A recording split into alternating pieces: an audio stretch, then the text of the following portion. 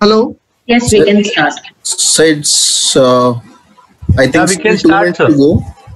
Shall we start? Gino sir, will you give the disclaimer or should I? How is it? Hey, you can go ahead, uh, Ronak, you can go ahead. Okay. Okay.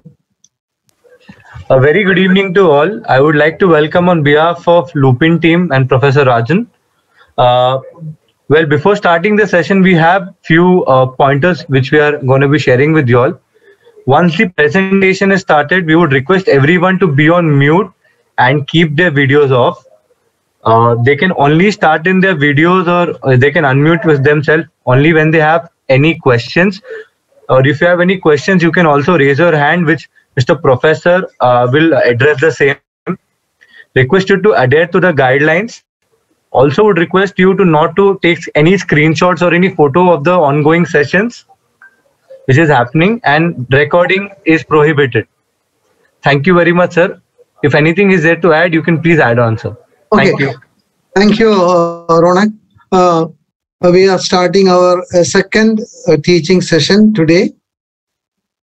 As Ronak has said, uh, you can switch off your uh, video and uh, mute yourself.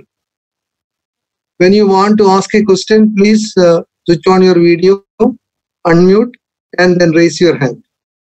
Not only that, during the discussion, during the case discussion, if you want to actively participate in the discussion, you can unmute yourself, switch on the video, and then ask a question. Let us make it very, very interactive. So we will go to uh, uh, good evening all, uh, my dear students. We will go to the first case discussion. We, I would like to have somebody to read the uh, the the symptoms, the history, and then discuss the initial part. Then we can go to the physical findings and a further discussion can be taken forward. So let me first project the first slide.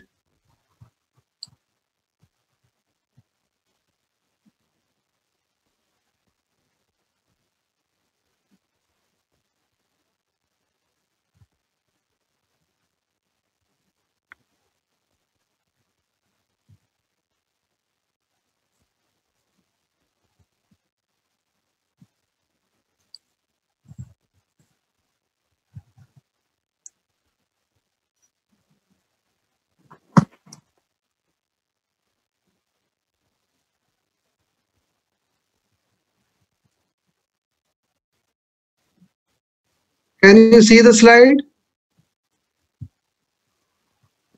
Is the is the slide visible to everybody? Yes, sir. It Yes, sir. visible. You can carry on. Okay. I would like to have uh, one among the participants to start reading the history and the uh, symptoms of the patient.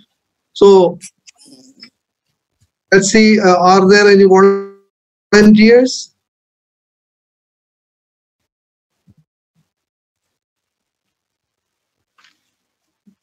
Once you start discussing the cases, the final discussion in the examination becomes extremely easy. So I would uh, request you to volunteer. If you are not volunteering, I can suggest few names and they can be part of the initial discussion. Any volunteers?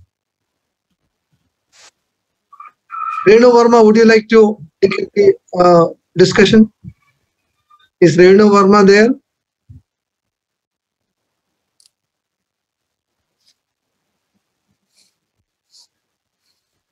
Dr. Vidya? Are you there?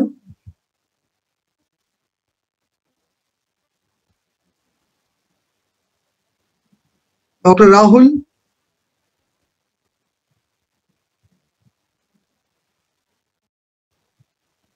Dr. Gopal? Dr. Vikas?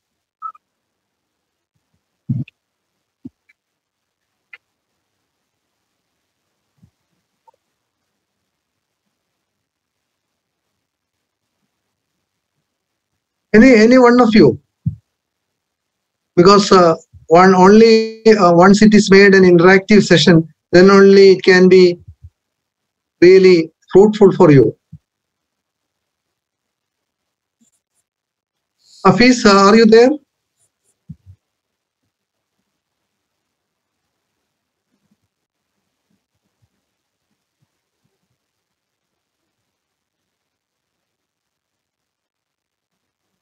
Anybody who would like to be part of the discussion?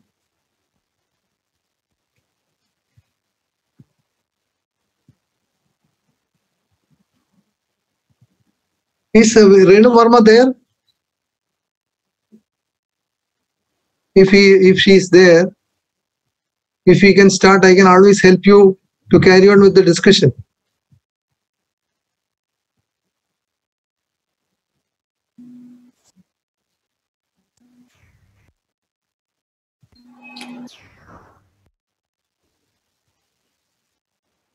Is Yes, Dr. sir.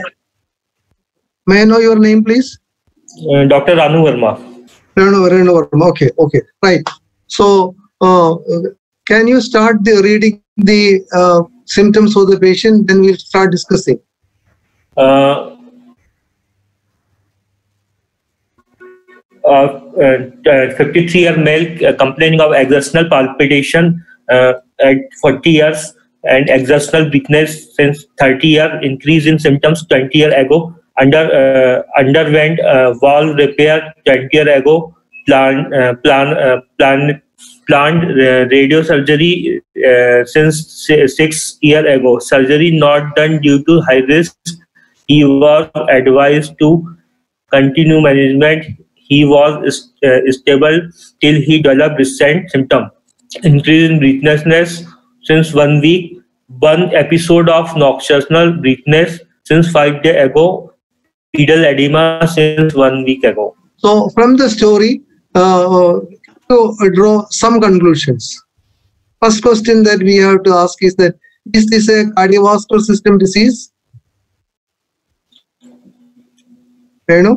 Yes, yes, sir. Uh, due to exertional uh, dyspnea, uh, breathlessness, uh, and palpitation, also uh, go in favor of the cardiovascular disease. he has got a most likely cardiovascular system disease. Uh, uh, next, looking at whether it is a right side, left-sided disease, right-sided disease, or a both-sided disease.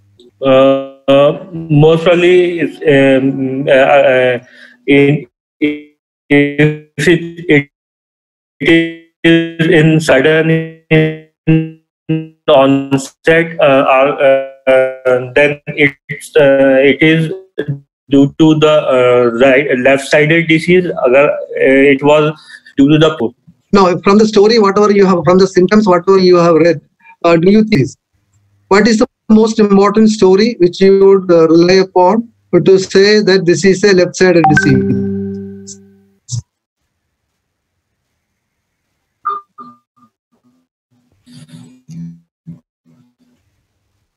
Exertional breathlessness. symptoms also. For example, some of the patients with um, uh, primary pulmonary arterial hypertension, their main complaint may be exertional breathlessness. But if the patient is having uh, an episode of nocturnal breathlessness suggestive of paroxysmal nocturnal dyspnea, that is very uh, uh, uh, suggestive and definitely confirmatory of the left-sided disease.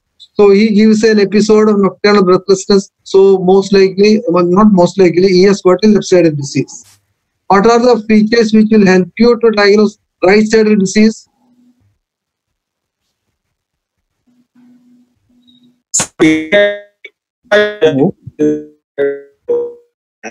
What are the features which will, any one of you, what are the features which will help you to diagnose uh, right-sided disease?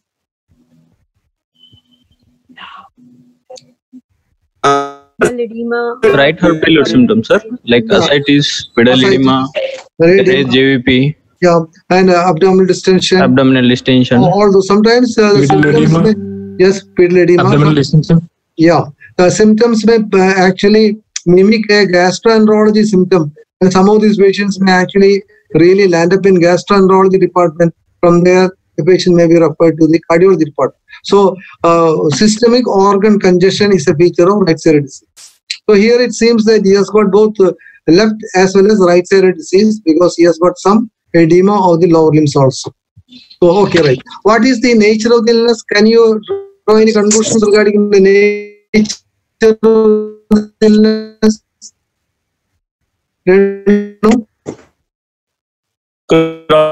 Chronic No, nature means uh, like uh, volume overload, pressure due overload, volume overload. or volume overload. Why do you say that? Um, mm, because pedal edema and uh, other symptoms. Palpitation, sir. No, Exertional palpitation. Palpitation is the most important symptom. It has actually preceded all other symptoms, and that is a very strong point for you to say that he most likely has got a volume overload. What are the volume overload conditions? Valvular lesions like uh, regurgitant Regurgitant lesions. lesions and Anemia. not anemia. Anemia, there is no volume overload. uh, Shunt lesions, Shunt lesions. congenital heart There disease. are there are two uh, group of diseases which uh, actually has got volume overload as the main hemodynamic abnormality. One is the uh, regurgitant lesions, mitral regurgitation, aortic regurgitation, tricuspid regurgitation, pulmonary regurgitation, all regurgitant lesions, and shunt lesions like VSD, PDA, ASD, all those things. So, are- so he's having a uh, uh, he's having a shunt, lesion or a valve regurgitation. Most likely wall lesion, sir. It's a valve lesion because it's he has, valvular lesion. he, he has underwent a Wall valve, repairs. valve repair. So since he has undergone a valve repair, we are sure that he has got a valve lesion. And, And the age also. Which valve do you think is in trouble? Is it a mitral valve or aortic valve? Mitral valve, Most likely mitral Mitral valve. valve. Why did you say that? exertional palpitations also, sir. Exertional palpitations can occur in aortic. History of PND, valve sir. No, no history of PND. That was that's uh, more in favor of mitral valve. Uh, we can wall also- repair, valve repair is most commonly done in Again, mitral valve rather Very than good, the very good. Valve repair is more frequent in mitral valve than in aortic valve. aortic So, valve. so more likely to be a, an io- mitral valve repair. Mitral Okay, So this patient from the story, we can say that most likely he has a valve disease, mitral regurgitation, and which has now progressed to some degree of LV dysfunction because he has started developing nocturnal breathlessness. Now let us look at the history of present illness. Okay. Can Renu read this so that we can go to discussion? He, uh, his symptoms dates back to uh, 40 year when started experience. Uh, so due to block, I am unable to see the um, uh, full this your uh, window. Doctor, you can minimize it. There is a minus sign through which you can minimize the this one. Can you see a minus sign on the left top? Yes, Okay, sir. I- Yeah, by by pressing I- that you can minimize the thing. Uh, no, my, my, my that thing I have minimized it. Am I still is it visible now? It is it is visible, sir. Okay, right, right. Okay, yeah. I am able to see the uh, after start experience. Uh, then two lines are not seen uh, in the last. Two lines in the last. In I- first two line, I am unable to. What about read. others? Is I, it a I'll. I'll read, sir. Should I I'll read? Okay, okay, please read. Okay. Uh, sir, his symptoms dates back to 40 years when he start uh, experiencing exertional palpitation while playing with his classmates at school. A regular palpitation, settle down taking rest, no other associated symptoms like breathlessness, chest pain, fatigue or syncope. He was taken to the doctor who said that he has a valve leak and may require valve surgery at later date. He was advised to take penicillin injection once in a 3 week. About 30 years ago, he started developing exertional breathlessness class 2 uh, symptoms. He got married at the age of 26 years almost 28 years ago and uh, could have normal sexual relationship with his spouse, spouse. About 20 years ago, his symptoms deteriorated to NYHA class 3. He was advised valve repair surgery, which he underwent in 2000. After the surgery, he was advised to discontinue regular penicillin injection. He does not know uh, why the penicillin was stopped. He has temporal he has uh, temporary improved uh, improvement for two years he started developing symptom again. On consultation to the surgeon, he was told that the surgery was not successful and he must undergo redo surgery, most likely valve replacement. However, he continued on uh, uh, medical management and has uh, satisfactory improvements. Six, year, six years ago, he deteriorated again and was planned for redo surgery.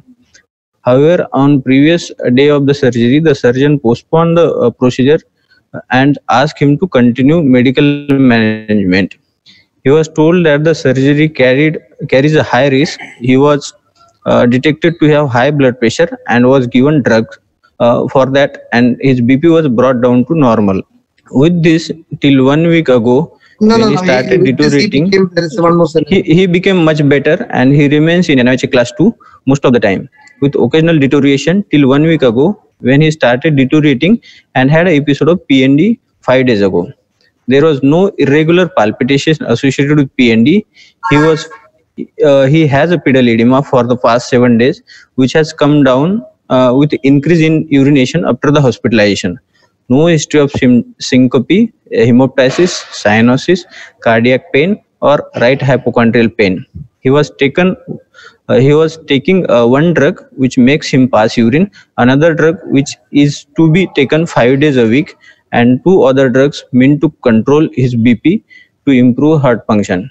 He has been very meticulous about his medication. Uh, then come to the past history, sir. Ah, History of migratory polyarthralgia involving major joints at the age of 7 and 10. He was given Ayurvedic treatment and got relieved.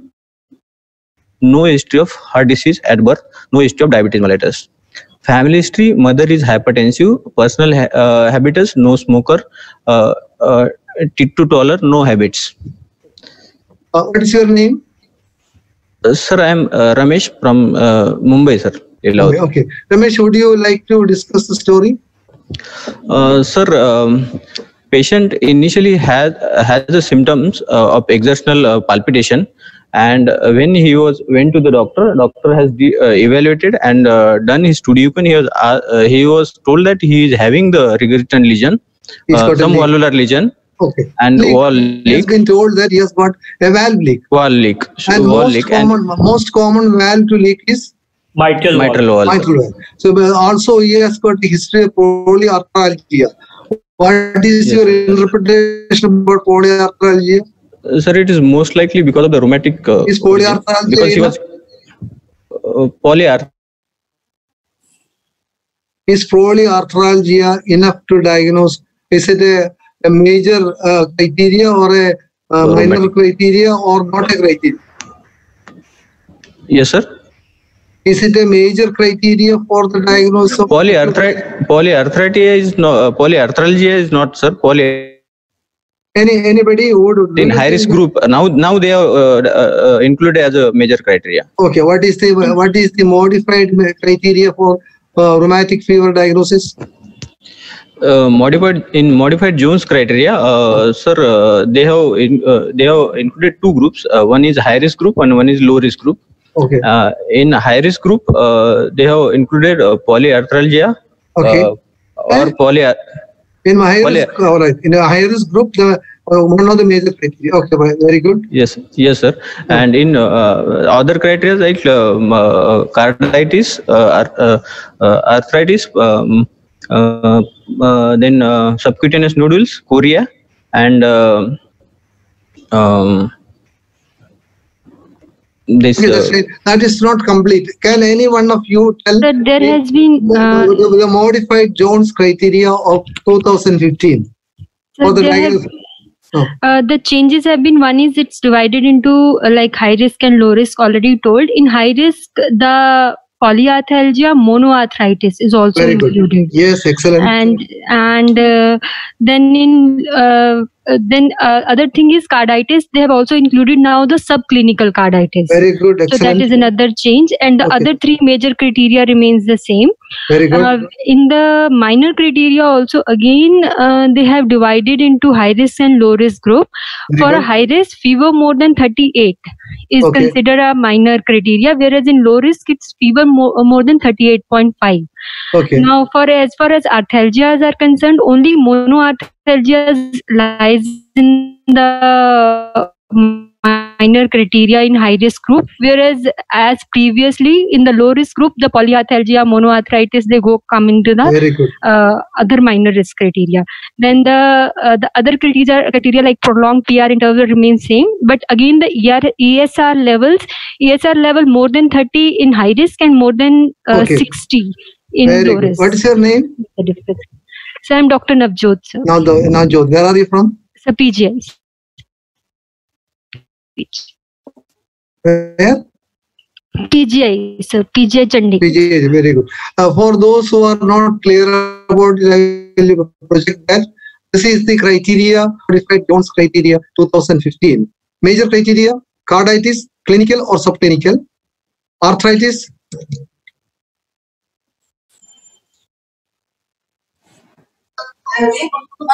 okay, the carditis, clinical or subclinical, arthritis, only polyarthritis for low risk population, like Western population, chorea, erythema marginatum, subcutaneous nodules.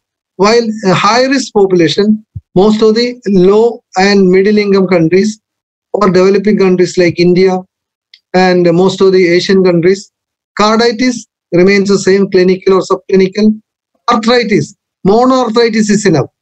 Or polyarthritis, of course, it, it is here. Or polyarthralgia is enough. The big difference is monoarthritis also is considered as a major criteria. Polyarthralgia also is considered as a major criteria. Other things remain the same. In the minor criteria, polyarthralgia is a minor criteria in the low risk population. Here, even monoarthralgia is a minor criteria. Hyperpyrexia, more than 38 degrees centigrade, here 38.5 degrees centigrade. ESR should be more than 60 millimeters in the low risk population or C- uh, CRP same, and uh, in the high risk population more than 30 millimeters. Others remain the same. So those who have uh, those who are not very clear, you can write it down because in the examination, definitely the examiners are going to ask you what is the latest Jones modified criteria and how it is different between low risk population and high risk population. So considering that India comes under the category of high risk population, is polyarthralgia can be considered as a major sign. So from the history itself, we can start thinking that it could be rheumatic heart disease. Okay.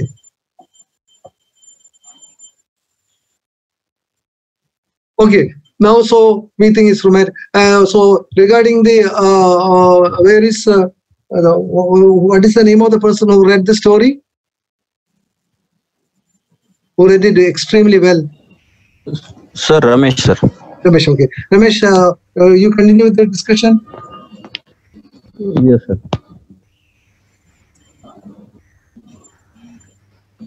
Okay. So what, what do you think? What has happened to him?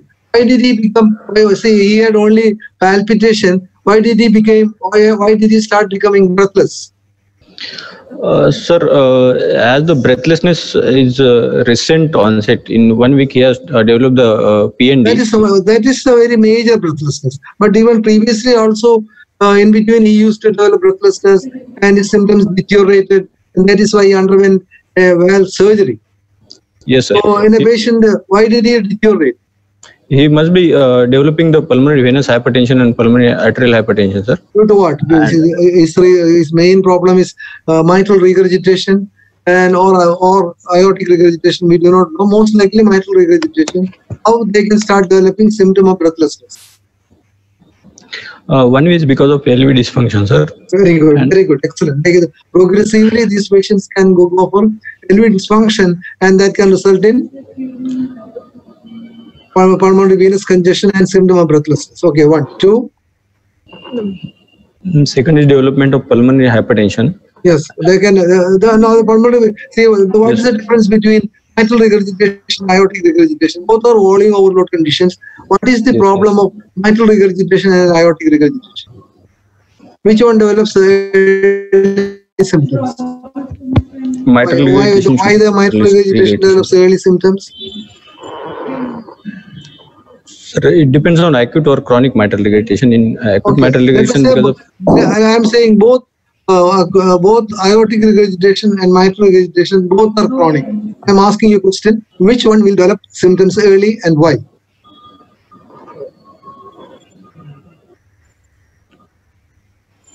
Uh, Ramesh, are you there? Yes, sir. You are right that mitral regurgitation develops early symptoms. Uh, any one of you can can you explain why mitral regurgitation develops symptoms earlier than aortic regurgitation? Let us look at what happened. the forward flow is re- reduced. The backward flow is into LA, which is a very low pressure uh, this thing.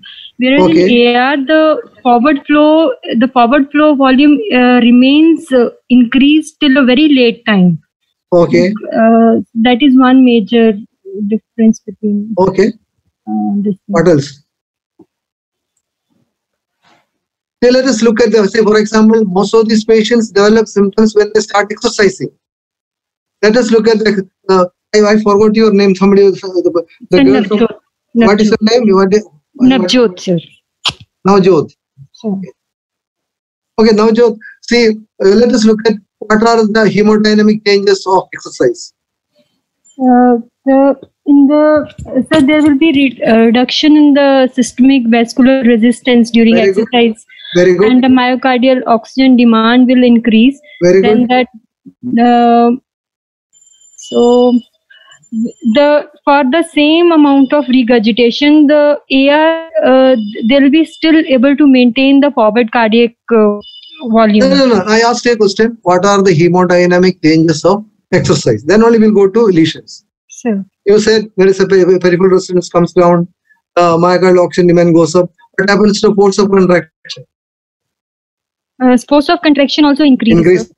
Yes This is what happens to diastolic heart rate. heart rate increases and diastolic time reduces. So, Yes, well, heart rate increases. So uh, relatively systolic time becomes more and diastolic time becomes.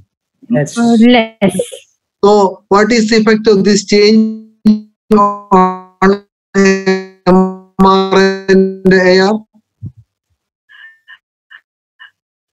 Uh, so uh, the AR is going to yes sir. It's coming down. So the uh, the Yes. aortic regurgitation comes down. And what happens to MR MR? because the systole it occurs in systole, so it's going to increase further even further. So Right. Uh, so the patients with MR will deteriorate, uh, will, will become symptomatic earlier when they exercise. yes.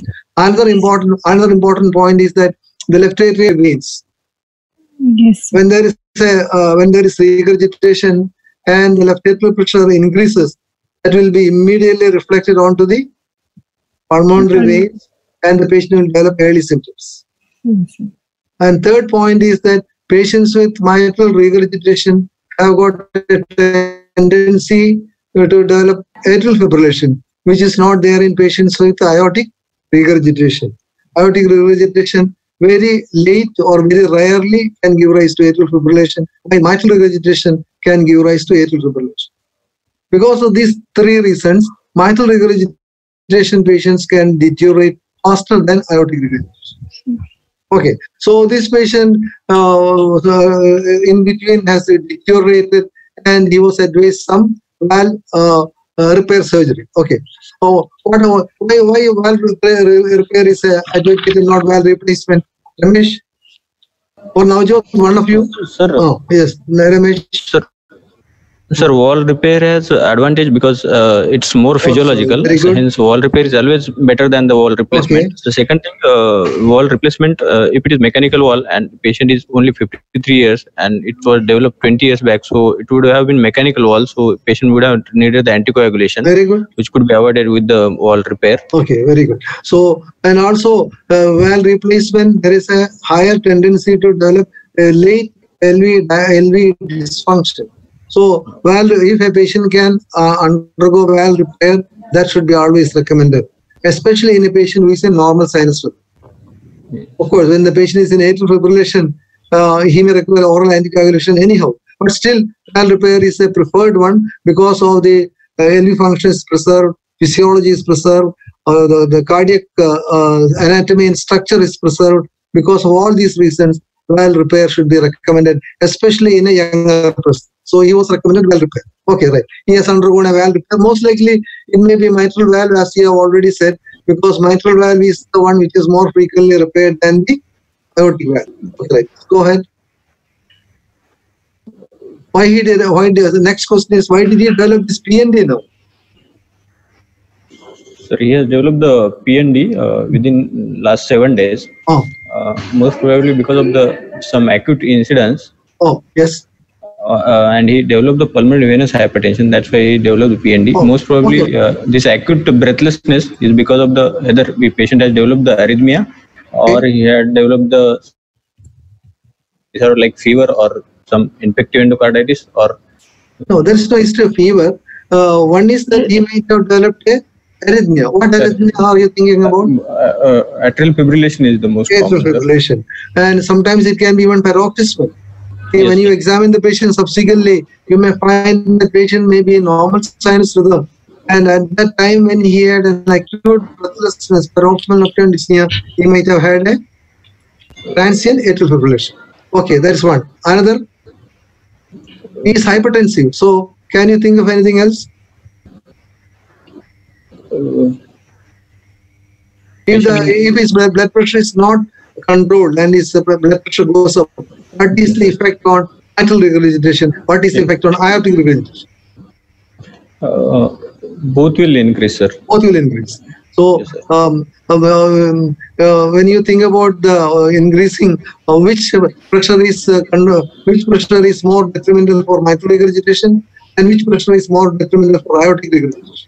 Uh, diastolic pressure for aortic regurgitation and Very uh, systolic pressure for uh, mitral regurgitation. Very good. So, the, so with the increase in systolic pressure, mitral regurgitation can go up. With the increase in diastolic pressure, aortic regurgitation can go up.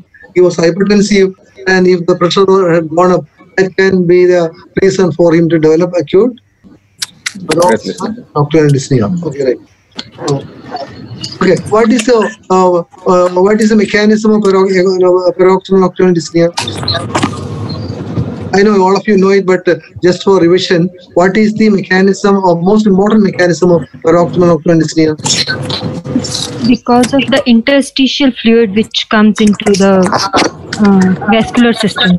Okay, so what happens? Uh, basically, when a person lies down for around sleeping up for about three to four hours, then the interstitial fluid, which is almost around uh, 800 to 1, uh, 800 ml to 1 liter, it comes from the extravascular compartment into the intravascular compartment.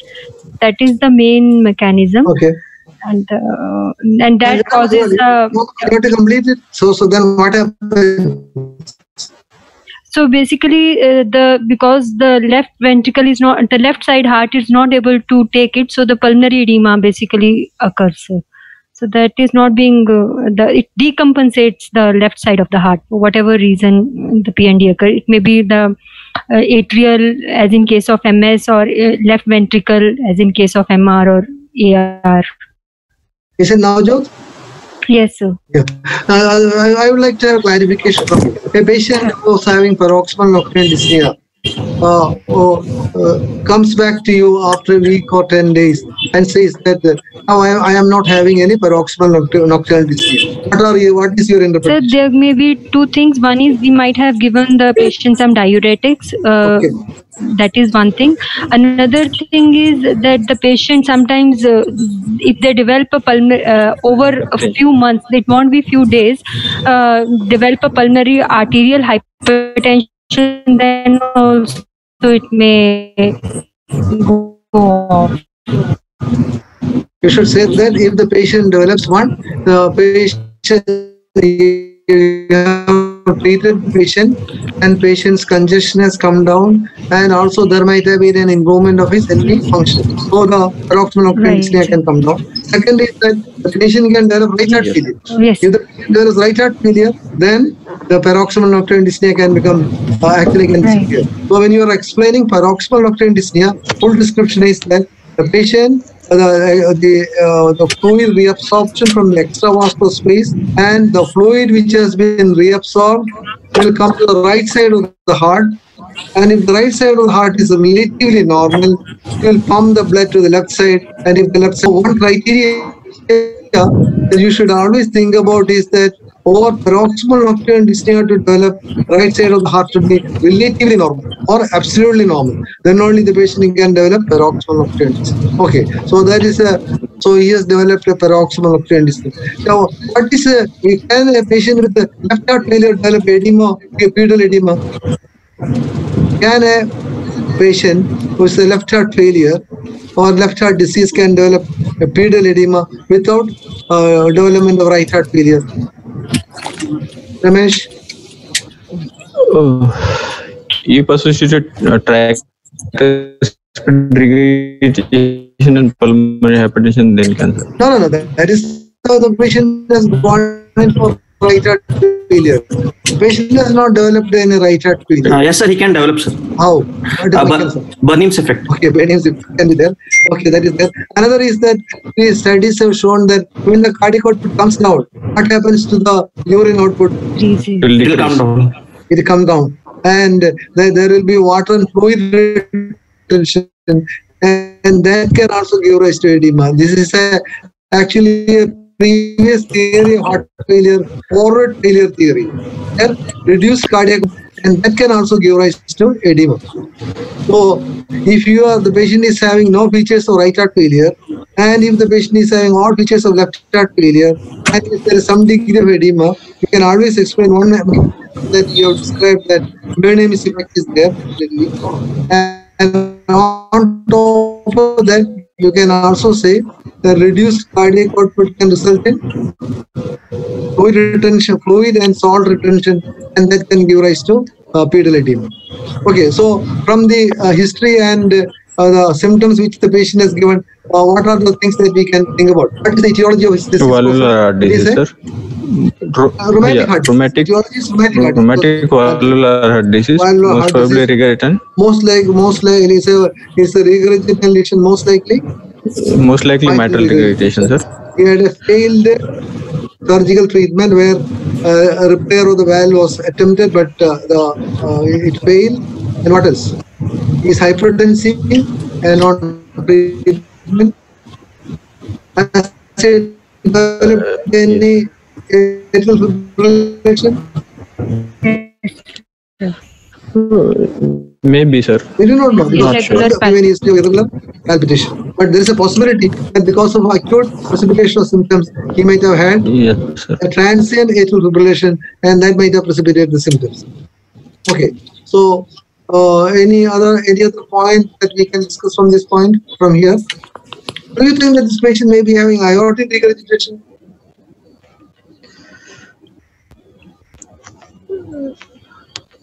What is the, if you look at patients with rheumatic heart disease or acute rheumatic fever, what is the incidence of, in acute rheumatic fever, what is the incidence of um, mitral regurgitation? What is the incidence of aortic regurgitation?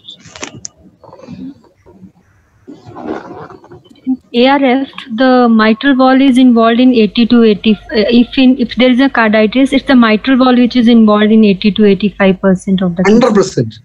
If there is a carditis, Okay. mitral valve is 100% involved. Right, sir. And aortic valve, It's like 15 to 20 percent along with the mitral. oh yes, mitral is there 100%. And on, on top of that, you are correct that around 15 to 20% can have associated aortic valve involvement in the form of aortic regurgitation. Can you uh, elaborate little more? Who are the group of people who are more likely to have aortic aortic regurgitation?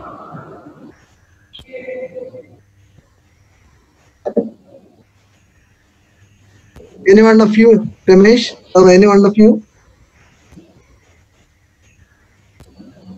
Studies have shown that aortic regurgitation occurs more, more frequently when rheumatic fever occurs in an older population, especially 10 or above. While uh, at a younger age, uh, uh, almost always mitral regurgitation and aortic valve may not be involved. Second, studies have also shown that aortic valve involvement is more frequent in males than in females. So there are two important points. One is more frequent in males. Two, it is more frequent when the acute rheumatic fever occurs in an older person, maybe around, maybe above the age of 10 years. Okay, so uh, let's go to now the physical findings.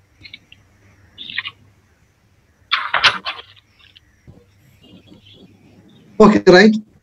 Ramesh? Uh, yes, sir. Oh. Uh, on examination, uh, Oh. patient is well built, uh, no syndromic features, no uh, uh, not dyspneic, no cyanosis, no clubbing.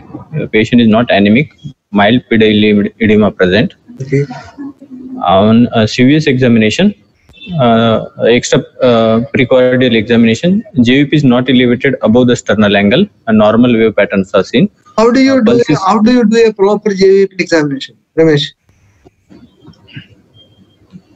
How do you do a proper JVP examination?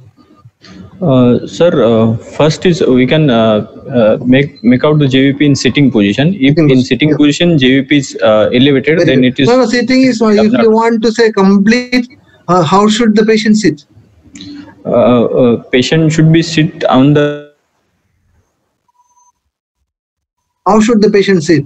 You should, if your description, you are doing uh, a post postgraduate degree in cardiology, your description should be complete.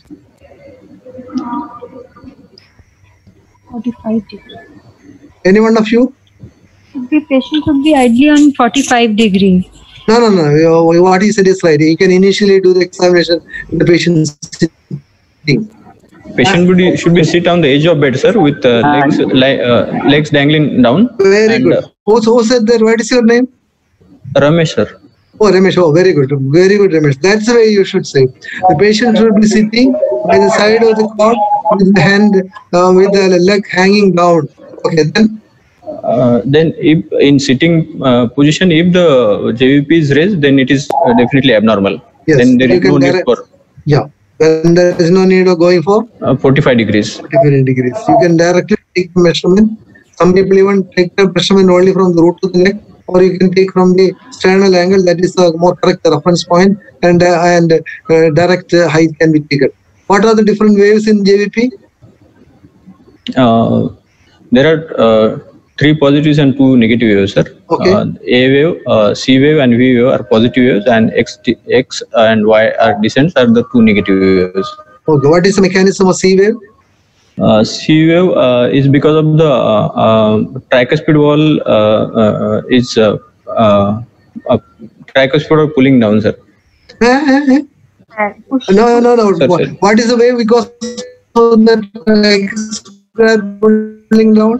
What, what is your your name? Is it Ramesh? Sorry, sorry, sorry. What sir. is the sir. mechanism of um, when the po- po- tricuspid valve is pulled out? What is the wave that you are getting? Uh, X descent, sir. X descent, X dash. Okay. Uh, what is the mechanism of C wave? Uh, it is because of the closure of the uh, tricuspid valve, sir. Tricuspid valve is bulging into the LA. Very good. Eh? Tricuspid valve bulging into LA. RA, RA, sorry. Right. Okay. Tricuspid valve bulging into RA can give rise to C wave. Okay. Right. Yes. Then. Uh, uh, how will you recognize A wave? How will you recognize C wave? And how will you recognize V wave? Uh, A wave uh, is the atrial wave, sir. Uh, Okay. It is. It comes with the. Uh, uh, it. Uh, When you are looking at the JVP, how will you make out which is A wave and which is V wave? Can palpate the carotid. Very good. A wave occurs before uh, apical impulse. Before the carotid. Uh, before Yeah, the carotid. Very good. You can palpate the carotid, and um, especially you can palpate the left carotid, Left and carotid. and trying to uh, try to look at the right internal jugular vein. And A wave occurs. before the carotid Very and good. And C wave will be just with the carotid and the. V wave will be after the carotid. Yes. Uh, so A before the carotid, C wave if you can see uh, with the carotid, and V wave after the carotid impulse. Okay. C wave is, is not usually seen, but sometimes in patients with atrial fibrillation, there is no A wave, you may be able to see the C. Okay. How will you? That's one point. What is the next point? That is timing. Then is there any other, any other point for you to uh, differentiate between A and V wave? So A wave is like a um, uh, V wave is more. It A wave just comes and uh, it's like a flick. Like a V flick. wave is more. Uh, it's because of the filling, so it's it has it's more uh, elongated, sustained in time. Okay. The A wave is a quick rise, quick fall. Because A wave is due to atrial contraction and its descent is because of the atrial relaxation. So it's a quick rise, quick fall. While while V wave is a slow rise and a quick fall. Slow rise and a quick fall. What is the situation where V wave will not have a quick fall? Tricuspid stenosis. Tricuspid stenosis. Tricuspid stenosis. Very good. Okay. How will you recognize X wave and Y, uh, uh, y X descent and Y descent? You said about uh, how you can recognize A wave and V wave. I'm asking you, you are seeing a descent. How will you recognize which is X and which is Y? with auscultation. Possible. Very good. How do you recognize it? X descent occurs just before first heart sound. Very good. Y descent occurs after second heart sound. Very good. So the best method is you should auscultate the, either the pulmonary area or the aortic area. And the one which occurs before the first heart sound is the X descent. One which occurs after the Y descent is the, uh, after the uh, second sound is the Y descent. That's one point. Second, you can look at the interval between the waves. In a patient with a uh, standard heart rate or a slower heart rate, the YX uh, interval will be longer than XY descent, YXY interval. But that's very difficult. But the, the other one which you said is the most appropriate, you auscultate, and the one which occurs before S1 is the X descent, and the one which occurs with uh, after the S2 is the Y descent. Very good. Okay. Right. So in this patient, JVP is not elevated and normal wave pattern. Okay. Go ahead. Yes, sir. Uh, pul- uh, then pulse, sir. Uh, pulse is 75 uh, beats per minute. It's regular, high volume, collapsing, uh, no thickened vessel wall. All peripheral pulses were felt. No radio-radial or radio-femoral delay. Okay, right. Yes. Blood So pressure. he's having a collapsing pulse. Okay. But what do you mean by collapsing pulse? sharp rising and sharp uh, falling, sir.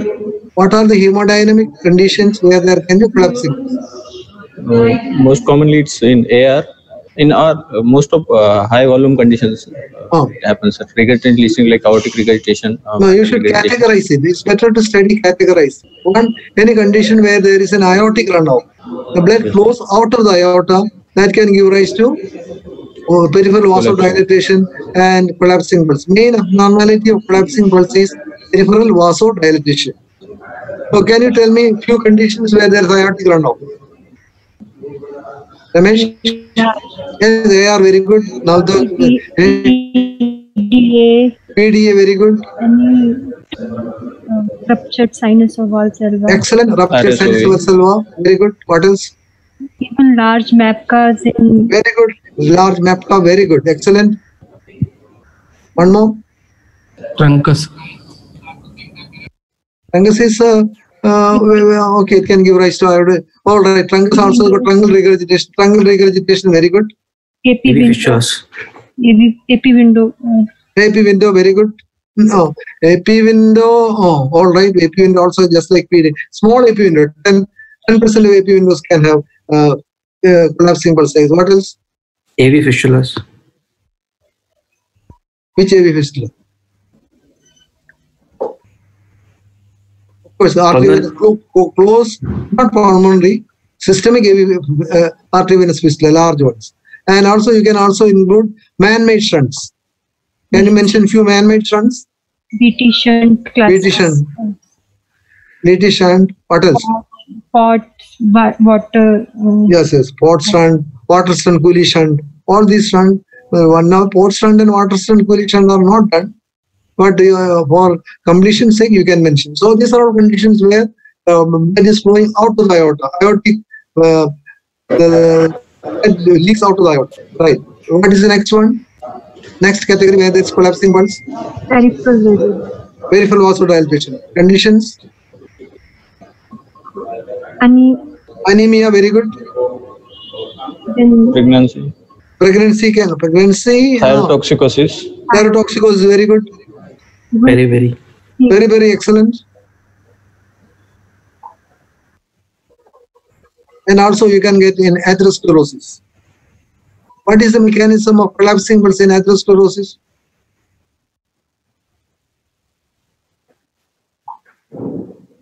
You know, in patients with atherosclerosis, they can have a very much elevated systolic blood pressure, which may be 160, 170, 180, and their diastolic pressure may be 30, 40. So why is it that they are having this high systolic blood pressure and a low diastolic blood pressure, and they can sometimes have even collapsing pulse? What is the explanation? Because of the stiff uh, stiffness of the wall, sir. The Oh, elasticity of- is Yes, because of the stiff aorta, when the blood is pumped from the LV to the aorta, there is a sharp rise in the systolic blood pressure. Very good. Yes. Why there is a drop in the diastolic blood pressure?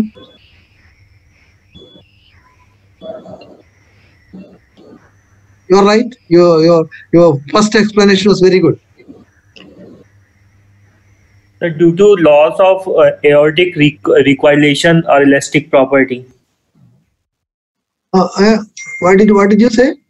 Uh, sir, loss of ela- elasticity of aorta. Okay, that can give rise to the uh, higher systolic blood pressure. I am asking you, how can there be a uh, rise in the diastolic blood pressure?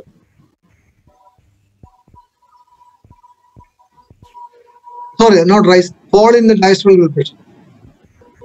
See, when the blood is pumped into the aorta, normally what happens, aorta dilates and uh, it actually accepts the extra volume of blood is which is pumped from the LV. In a patient with stiff aorta, which is not dilating. Whatever is the blood coming, it has to go move forwards. And since it has to move forwards, as a compensatory mechanism, there will be significant peripheral vasodilatation. That will result in a low peripheral resistance, low blood pressure, and these patients can have sometimes even collapsing pulse. So two hemodynamic abnormalities are happening in atherosclerosis. One, because of the stiff aorta, when the blood is pumped from LV to the aorta, is a sharp rise in the systolic blood pressure.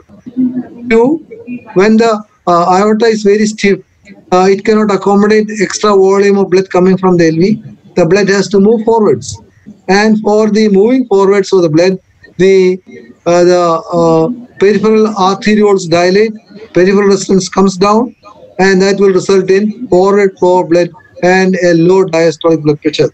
And these patients can have sometimes even collapsing pulse. So the characteristic feature of uh, sclerosed aorta is a high systolic blood pressure and a low diastolic blood pressure. Okay, right. Go ahead. Is it- could you understand that uh, now, Jyot? Could you get it? Yes, sir. Okay. Now go ahead, uh, Ramesh. Can you read? Yes, sir. Uh, sir, uh, blood pressure in right upper limb uh, 170 by 40 millimeter of mercury, and right lower limb uh, 220 millimeter of mercury. Systolic blood pressure diastolic. So, what is your interpretation? There is a wide pulse pressure, sir. Okay, very, very wide Uh, pulse pressure. That is consistent with our observation that the patient is having collapsing pulse. Yes. Okay, right. Yes, pulse. yes. Is he hypertensive? It is, he is a hypertensive, sir. Systolic blood pressure is uh, more than it's 170 millimeter of mercury, so So he is is hypertensive. In a patient with aortic regurgitation, what is the pressure which is affected? Diastolic blood pressure, Diastolic blood pressure and the pulse pressure. pulse. Diastolic pressure and the pulse pressure. Systolic blood pressure can be even normal, even in se- severe aortic regurgitation, or maybe only um, uh, slightly ele- uh, elevated. The, the pressure which is affected is the diastolic blood pressure and the pulse pressure.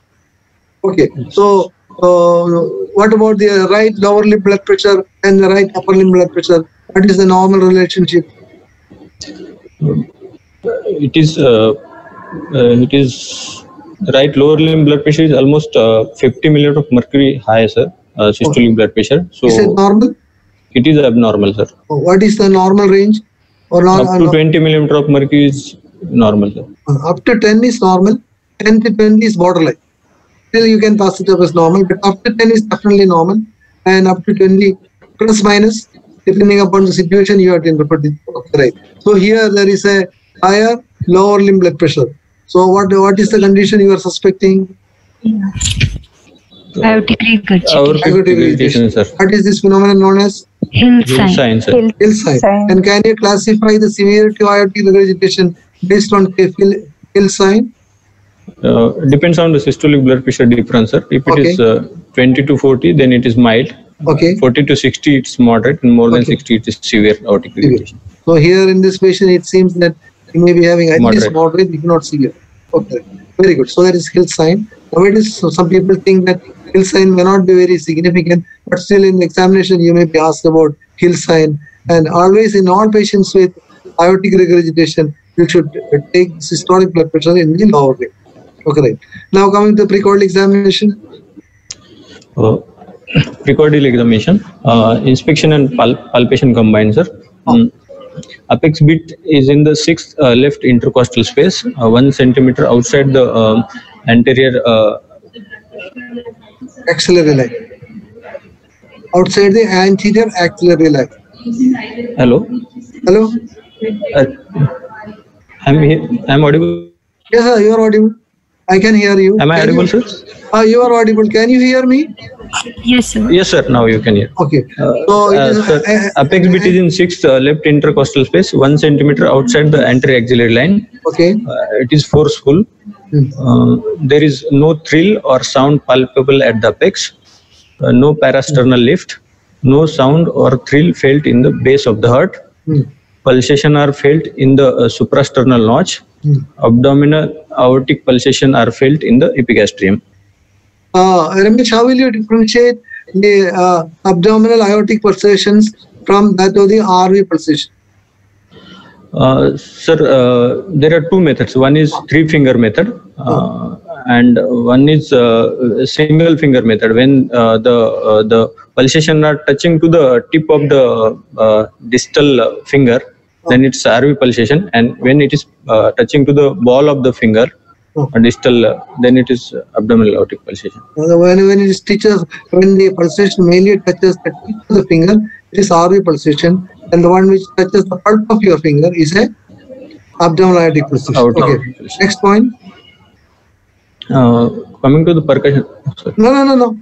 Same. Oh, what is the idea? Second point by which we can differentiate from the RV pulsation?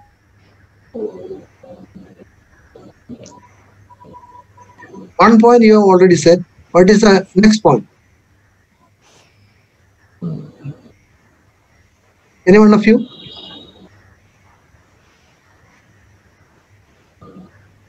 You ask the patient to take a uh, good breath in with the with the abdomen. When the patient does a good breath breath in with the abdomen, what happens to the RV pulsation? it will increase, sir. It will increase. The RV comes down, the diaphragm comes down, RV comes down, and the pulsations on your tip of your finger will become much more prominent. What will happen to the abdominal aortic pulsation? It will decrease. It will, will decrease decrease, because the you are moving away from the abdominal aortic pulsation. So by doing a uh, abdominal breathing, you can easily differentiate whether it is an RV pulsation or an abdominal aortic pulsation. Okay, right. From the uh, findings, what do you think? What are what are the conclusions that you can draw? Uh, uh, Yes, got a Apex- significant cardiac enlargement. Yes. Yes, sir. There is cardiac enlargement. Uh, Yes. Apex is shifted uh, to the sixth intercostal space. Uh, down and out. Okay, right. Yes. Yes, sir. So uh, there is a, LV uh, dysfunction or we cannot be certain about LV dysfunction because if the patient had apex beat shifted out and had a very heaving apex beat, then you could have suspected that he may be having a yes, sir. We is LV having dysfunction. forceful effect with forceful apex beat will not tell you about it. Uh, there is a why why uh, LVH. heave- heaving apex beat is associated with uh, if there is a cardiac enlargement and heaving apex beat, you may suspect an LV dysfunction. What is the explanation? Sir, can I come? yes. Yeah, please. The pre-ejection time is increased in LV dysfunction. Very good. In LV dysfunction, the pre-ejection time is increased, and that will give the apex a heaving character. Okay, very good. What is your name? I'm uh, Dr. Anup sir, Anup. from Jain Medical College, Belgaum. Okay, very good. Excellent. Uh, excellent, Anu. Okay, right. Yes. So, uh, he's not having any, from your examination here, we can't be certain whether he's having LV dysfunction or not. Okay. He's not having any thrill. What are the conditions in which you get a thrill? So, there are systolic and diastolic thrills. Sir. Very good. Uh, usually, uh, the when the flow comes from uh, posterior to anterior chambers, Very then uh, Whenever the blood is flowing from posterior to anterior only, then only you will get a thrill. When the blood is flowing uh, anterior to posterior, you will not get a thrill. So, uh, mitral regurgitation, students should be very careful that mitral regurgitation is a condition where you cannot get a thrill. Okay, very good. Okay. If there is an apical thrill, what is the, what is the condition you should suspect? Either uh, mitral stenosis or aortic uh, regurgitation. No, no, no. That's I am saying about a apical systolic thrill. Ventricular septal. Uh, VSD, You should suspect muscular VSD. muscular VSD. ventricular septal defect. Okay, very good. Okay, yes, very good. Okay. Now we'll go to the uh, let's go to percussion.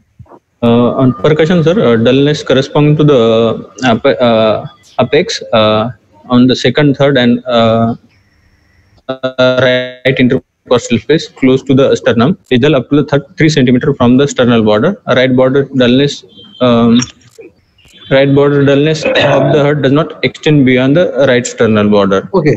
What is your interpretation? Uh, so there is no uh, significant cardiomegaly. There is no RV enla- uh, No, why did you say there is no significant cardiomegaly? Dullness corresponds to apex. Apex is already down and out. Yes, sir. Only thing is So that there is cardiomegaly. enlargement onto the right side. Yes, sir. What is the structure which should be dilated for uh, the dullness to extend beyond the sternal border? RA, sir. RA, RA. And also it can happen in patients who have pericardial effusion. Yes, sir. Either RA should be dilated or there should be associated pericardial effusion. Yes, here he has got dullness in the second and third right intercostal space. So what do you think is the problem there? Uh, pulmonary hypertension. Eh? Why did you say pulmonary hypertension? Second and third right Second. in second and Sorry, third right. right, intercostal space. Aorta may be dilated. Aorta may be dilated.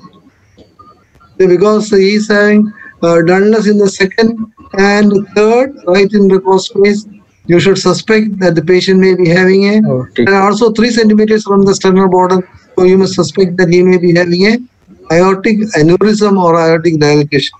Yes. Okay, so you should. Uh, so uh, already he has got a uh, collapsing pulse. You are suspecting uh, he may be having a aortic regurgitation and uh, uh, dilated aorta also should be kept in your mind. Okay, now we'll go to the other findings. I think I'll have to make it bigger. See, only can.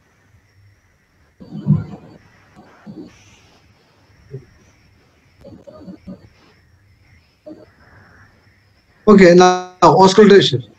Uh, on auscultation, sir, um, sounds uh, S1 is feeble, best audible at the Mitral vein.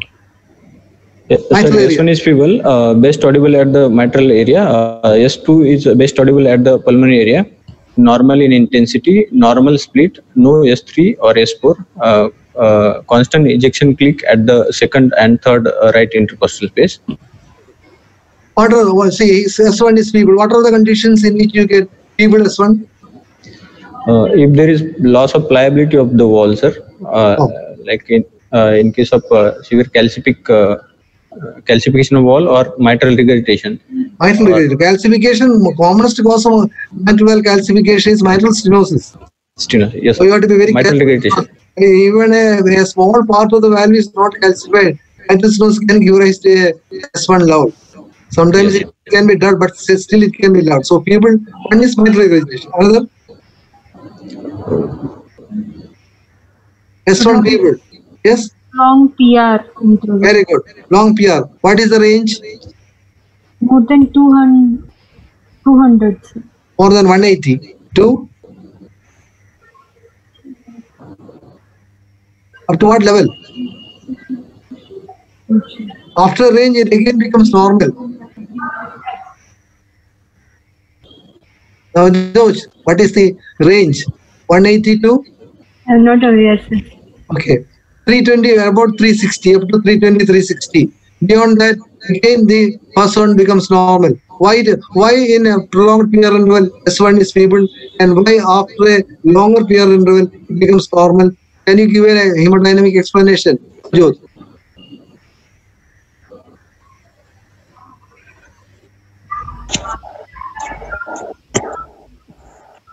Any one of you ramesh No, sir. somebody was from Okay. Can I comment?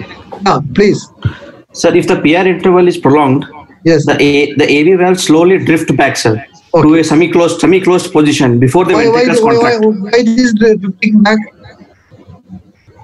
Because the blood in the atria is al- almost uh, No, that that's one explanation. Otherwise, now after the atrial contraction, what happens to the atria? it will relax. It will relax. The atrial pressure falls, and the valve will immediately float back. And when the LV contracts, the valve moves over a small range, and it gives rise to feeble S1. Then why after a long PR interval it again becomes normal?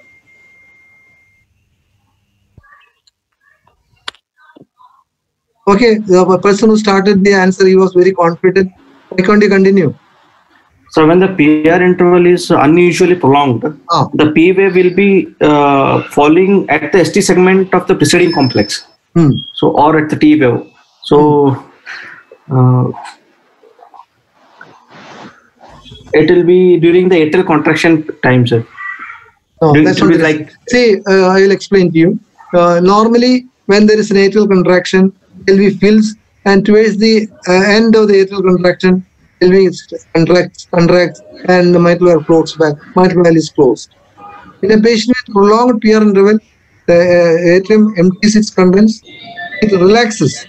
When the LV has not yet started con- contracting, LA empties its contents to the LV, LA relaxes, and the mitral valve floats back, and this one becomes feeble. Okay. Then when the LA relaxes, what happens to venous return?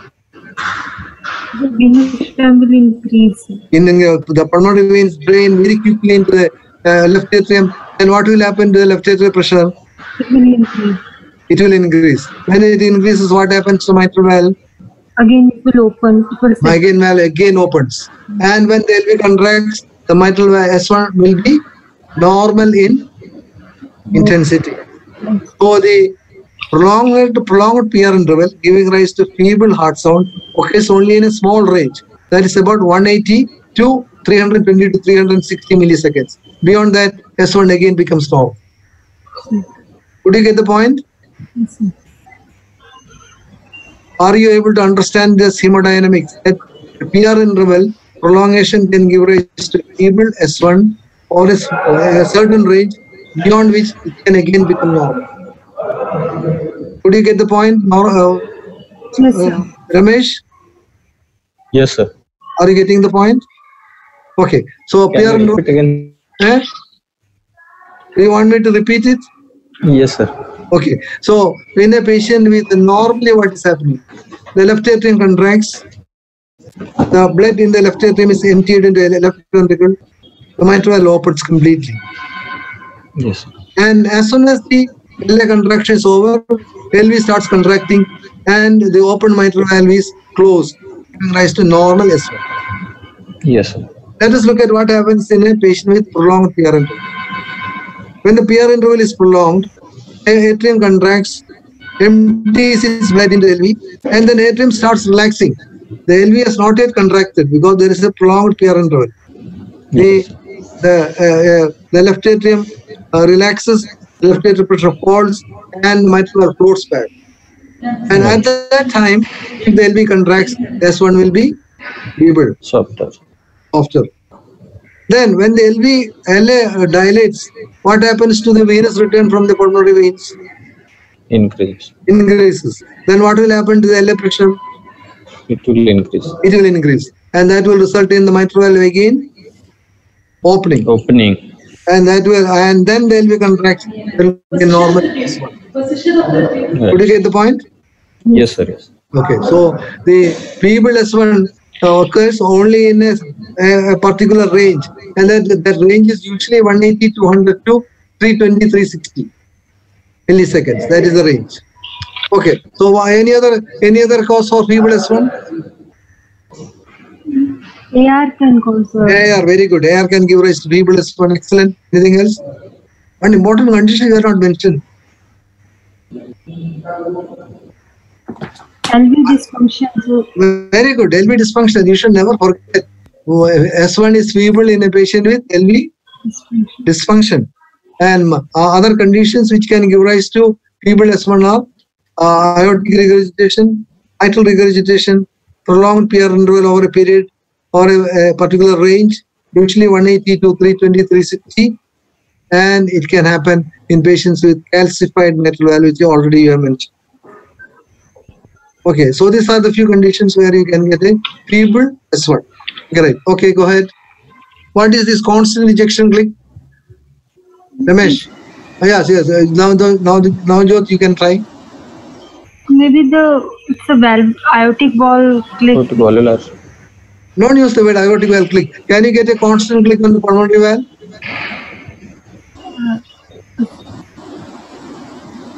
Can you get a constant click on the on the pulmonary side, pulmonary valve? No, usually it uh, changes with the respiration. Sir. No, wrong. No, no.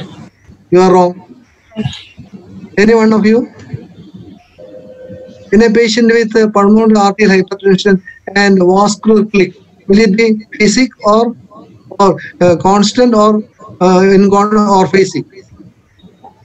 No, no, Jyot. It will be constant. In a patient with pulmonary arterial hypertension, if there is a vascular click, it will be constant. Right. sir. Could you get the point? Right. sir. Hanji, sir. Oh. But what is a situation where you can get a, a phasic or inconstant ejection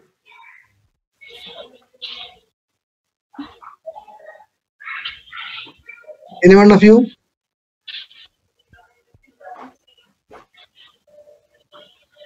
Or or can one of you explain to me what is meant by inconstant ejection click or phasic ejection click?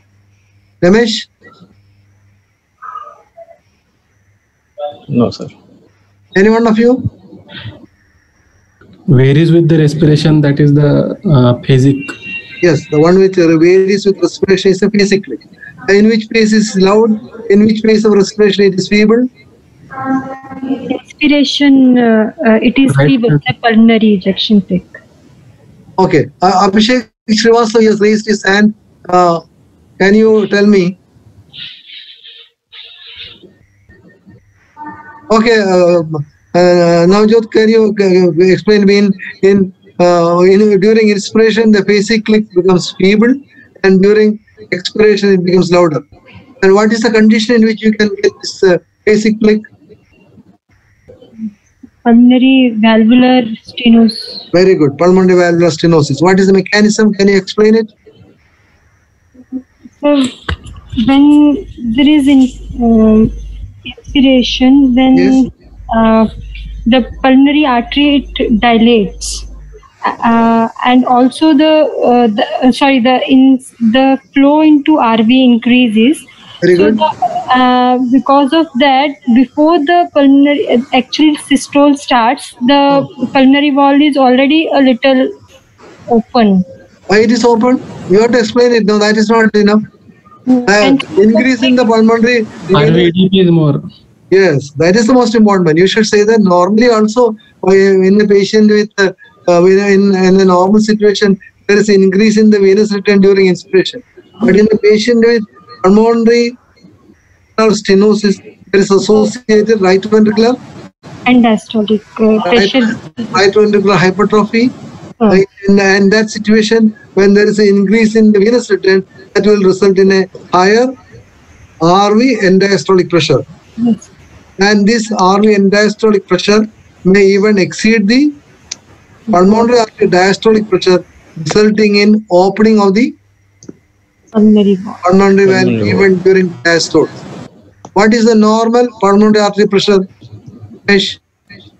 Normal pulmonary artery systolic pressure, mean mean pressure, and diastolic pressure.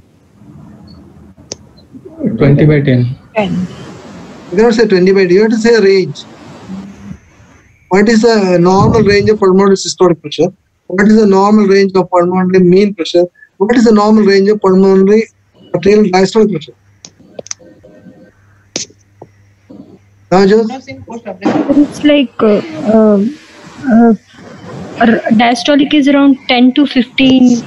Usually it is 8 to 8 to 12. Right. Uh, it was usually around 8 to 12. Very good. A main pressure. Article is approved. Beg your pardon? 10 to 20 sir Which one?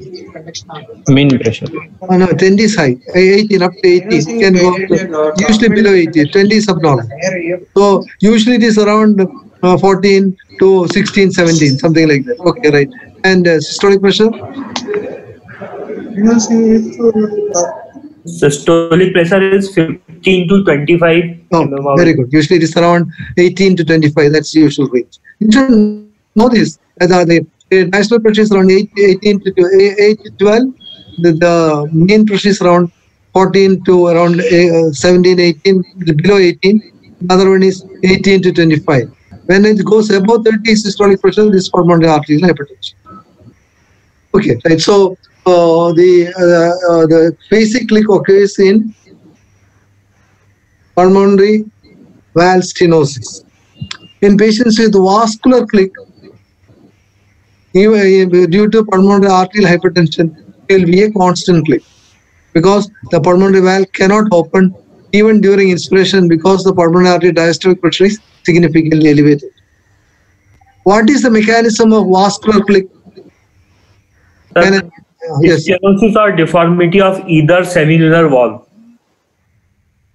beg your pardon? Uh, sir, abruptly doming of the motion of the valve coming to the abrupt halt at the onset of ejection. No, that is right. That is the mechanism of ejection click in a patient with valvular stenosis. I am asking a question: What is the mechanism of click in in uh, mechanism of vascular click? Now, the valve is normal, but even when the vessel is dilated, you can get a click. What is the mechanism?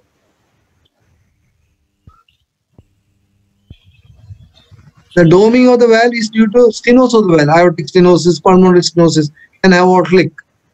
But in a patient uh, uh, dilated vessel, uh, you can get a vascular click-. In patients with pulmonary arterial hypertension, Eisenmenger syndrome, you can get a click. In patients with uh, the tetralogy of Fallot, you can get a uh, aortic click. The aortic valve is normal. What is the mechanism? annular dilatation Not annular dilatation. Any one of you? Somebody from Belgaum who answered very well. Sir, uh, due to the reverberations of the cardiohemic system, Ah. when there is a, a dilated aorta or pulmonary artery, Huh. You're which almost will, right. which will res- which will resonate the arterial trunk. Very good. See, normally also when the valves open, there is a small noise produced. And this small noise is not audible to human ears.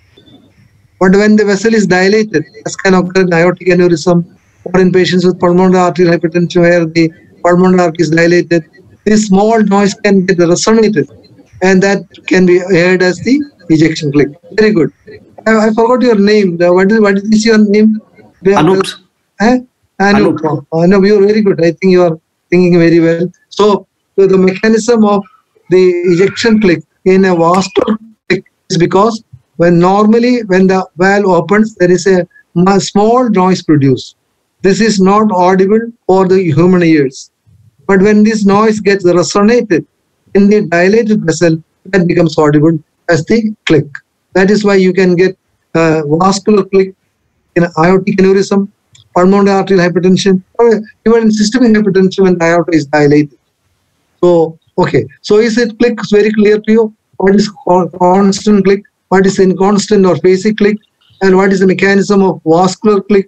What is the mechanism of valvular click? All these things should be clear to you. If anybody has having any doubt, please you can ask, raise your hand and ask the question. Any doubts, Ramesh? no sir Anup? Now, Navjot? Is it clear to you? Anji.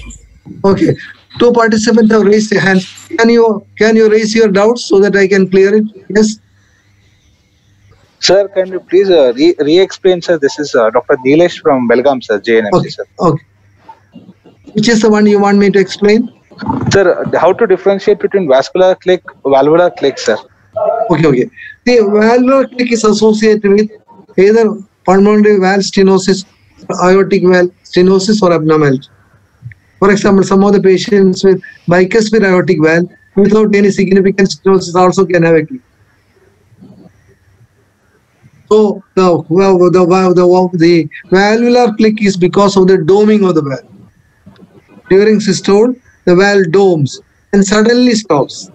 And this doming with sudden stopping of the valve give rise to vibrations which are heard as the ejection click.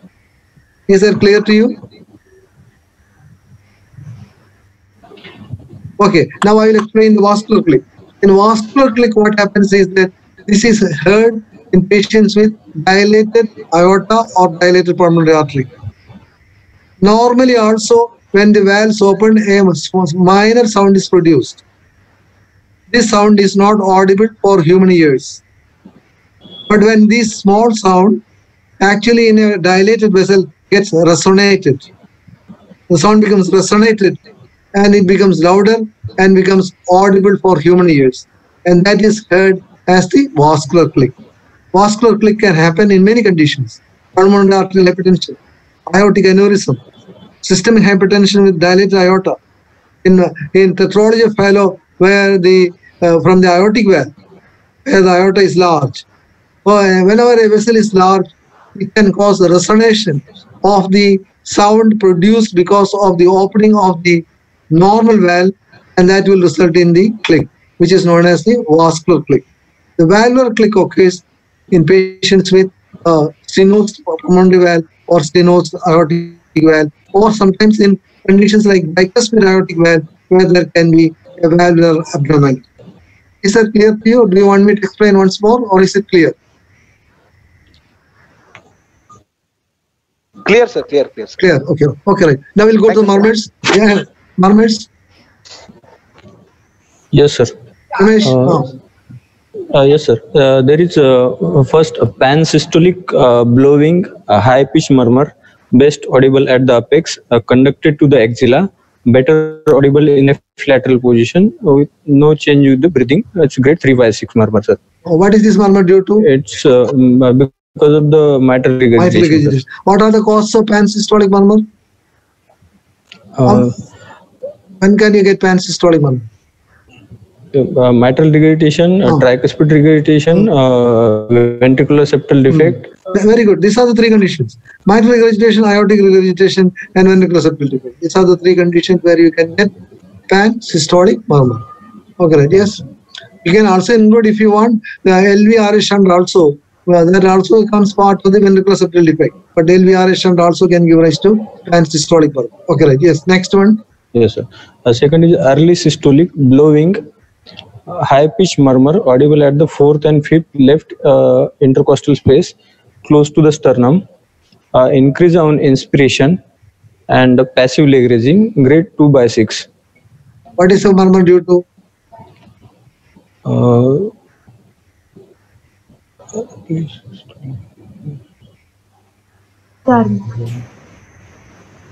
Yes. Uh, no, no, Navjot? It appears to be a TR murmur. It is a TR murmur. Very good. It is a TR murmur. Uh, you are worried because it is an early systolic. Because sometimes TR murmur, in mild TR, it can be early systolic. You may not get a pansystolic murmur. yes, sir. Okay. So why, why do you want to do passive leg raising?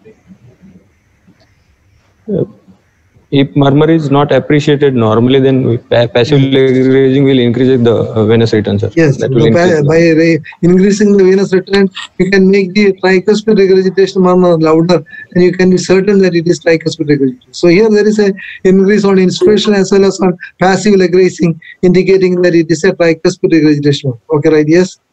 Next one. Uh, third is mild uh, systolic, rough Not and mild, harsh. not mild, mid.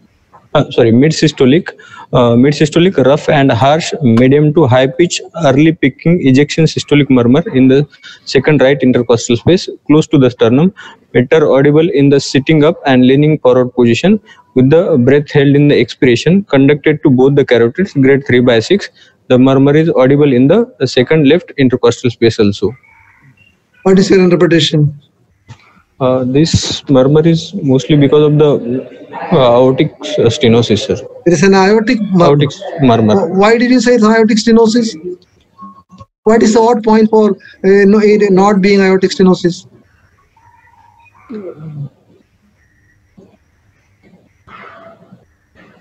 Audible in second uh, left intercostal space. Sometimes Early not peaking. Early, early peaking. Very good. Early peaking. Who said that?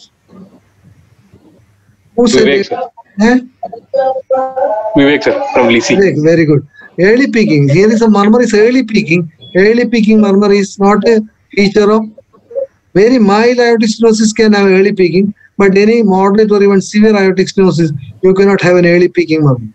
Whenever there is an early peaking murmur, you should always keep your mind open and try to explain whether it is can be due to some other mechanism. So, what is the mechanism in which you can get early peaking murmur? Flow murmur, sir. flow murmurs, whether it's an increased flow across a normal valve, that can give rise to early peaking murmur. Okay, very good. Okay, so that that you have to keep in your mind. Uh, the audible murmur in the second left intercostal space, you should keep in mind whether what is the subnormality, but sometimes aortic murmurs can be audible in the second left intercostal space also. Yes. sir. Okay, uh, what's the next murmur? Uh, uh, then fourth is early diastolic blowing, a high pitch murmur, best audible in the uh, second right intercostal space and heard uh, down along the left and right sternal border. Left is more than right. Better audible with the uh, patient sitting up, leaning forward with breath held in the expiration, grade 2 by 6. Yeah, what is this murmur due to? Uh, this is aortic regurgitation murmur. Aortic regurgitation. What are the causes of early diastolic murmur?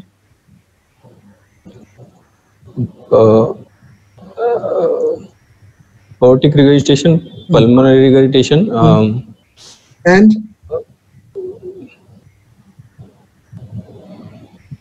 there are only three conditions. No, Navjot? Anu?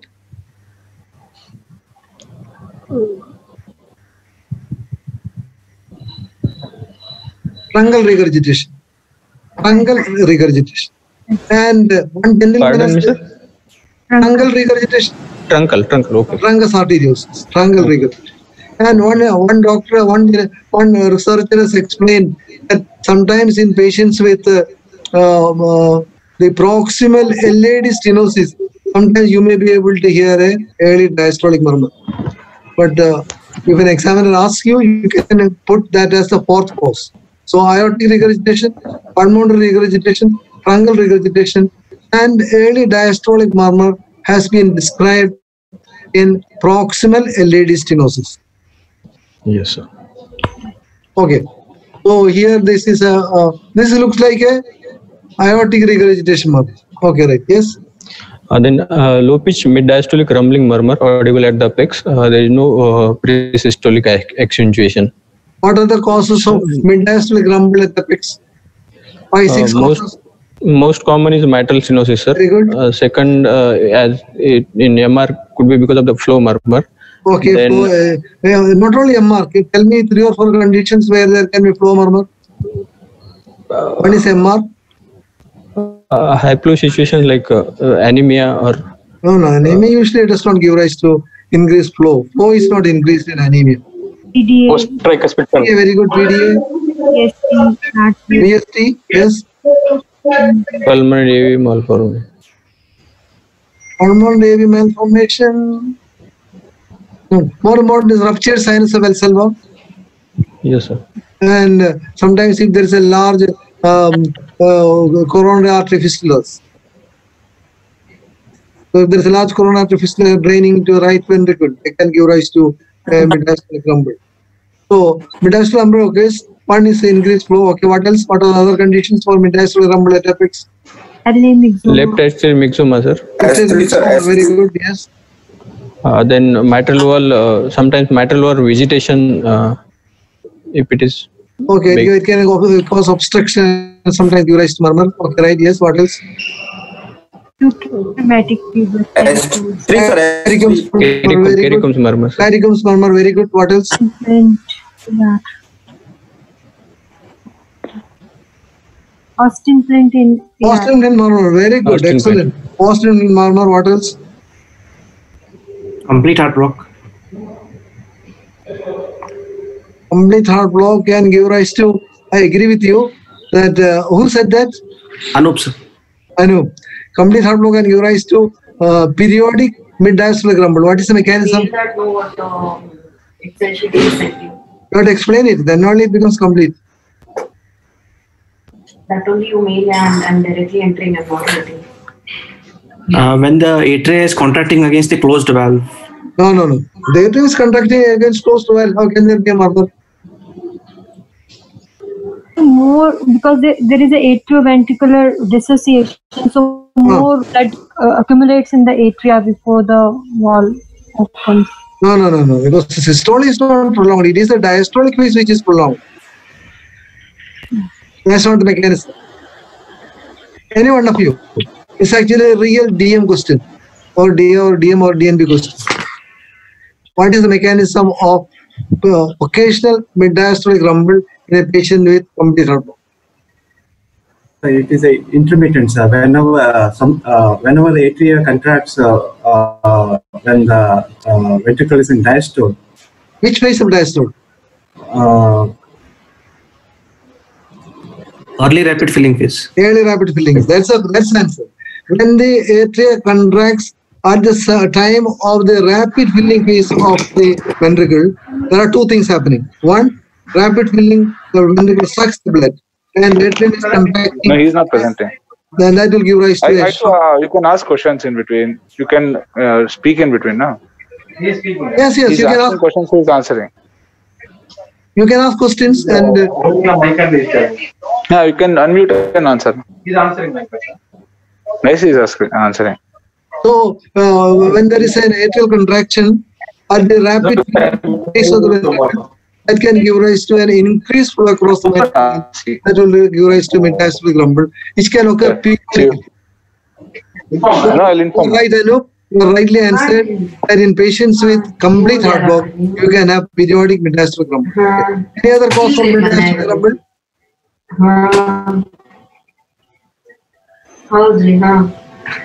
Two more conditions. Organic Artisanosis is already mentioned. Sir, organic TR. Not organic TR. This is. Organic TS. Organic? Uh, tricuspid tricuspid stenosis, of course. So it may not be audible at the apex, but uh, uh, uh okay. uh, midi- the, uh, all right, it's a cause for mid-diastolic rumble. Okay. Artificial one. You can hear mid-diastolic rumble in uh, in. Or triad. You can hear a mid-diastolic rumble. Somebody is uh, talking is coming onto the. can you can you mute the mic so that the other voices are not coming in the teaching session? Okay, so uh, um, uh, the tricus mid-diastolic rumble can occur. One in uh, another condition is uh, triatriatum and also in supramitral uh, uh, septum membrane. So there are a number of conditions where you can get a mid-diastolic rumble. Tricuspid stenosis also can be included.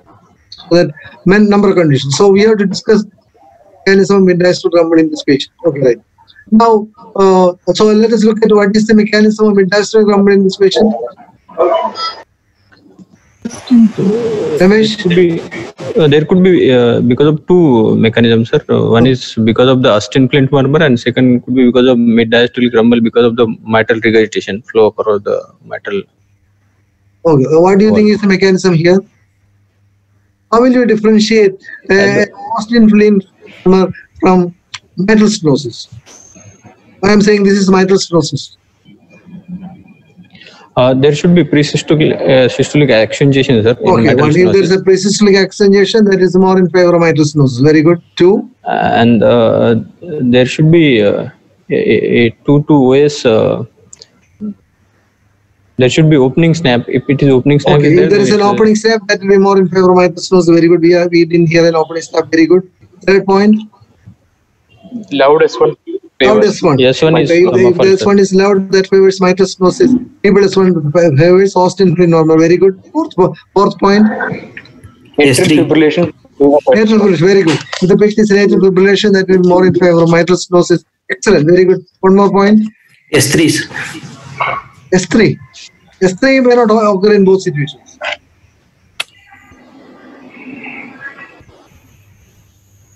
Another point, there are five points. The only one is loud first sound, two precis- presystolic accentuation. Third, presence of development of atrial fibrillation. Pulmonary artery hypertension. Uh, uh, pulmonary, uh, okay, pulmonary hypertension, both, both should go together. Atrial fibrillation or pulmonary artery hypertension is a complication. Yes, what else? LV is dilated. Beg your pardon?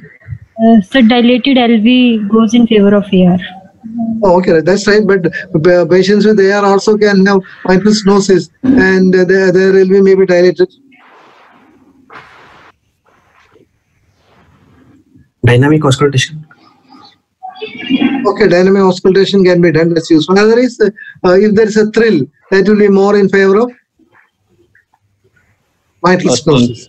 Mitral stenosis. Even though rarely thrill has been described with Austin Flint, but thrill is more in favor of mitral stenosis. And if the patient is giving recurrent episodes of paroxysmal nocturnal dyspnea, history of recurrent paroxysmal nocturnal dyspnea, that also will be more in favor of mitral stenosis. What is the mechanism of Austin Flint murmur? Anup, what is the mechanism of Austin Flint murmur? What are the mechanisms? Why there is Austin Flint murmur? So mechanism, there are two mechanisms, sir. Okay. Yes. Uh, one is AR jet impinging on the anterior mitral leaflet. Okay. And another thing is uh, No, no, no, no. You should explain it. You be- be Hitting on anterior mitral leaflet, you're making the mitral valve partially partially closed. plastic closed. Yes, very good. One, two. And sec- second point is uh, LV jet impinging on the LV free wall. Which one?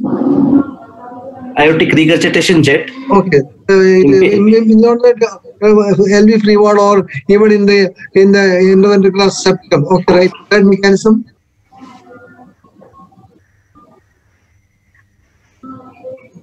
Now, Jyot.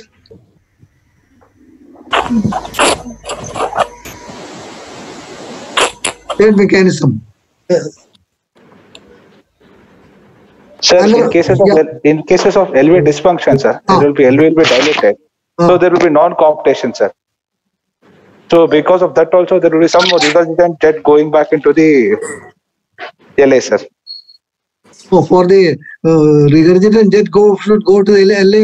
Uh, the, there should be uh, uh, acute elevation of the left ventricular pressure, LA left ventricular diastolic pressure, which should exceed the LA pressure. Actually, when the Austin Flint originally described the murmur, this was actually a diastolic mitral regurgitation. You are right. So I will agree on that point. Diastolic mitral regurgitation. Yes, sir. Thank you, sir. Oh, what else? Another mechanism is there are two streams of blood coming to the LV, one from aorta another is from LA. Uh, they come and create a turbulence that can give rise to mid-diastolic rumble. And finally, the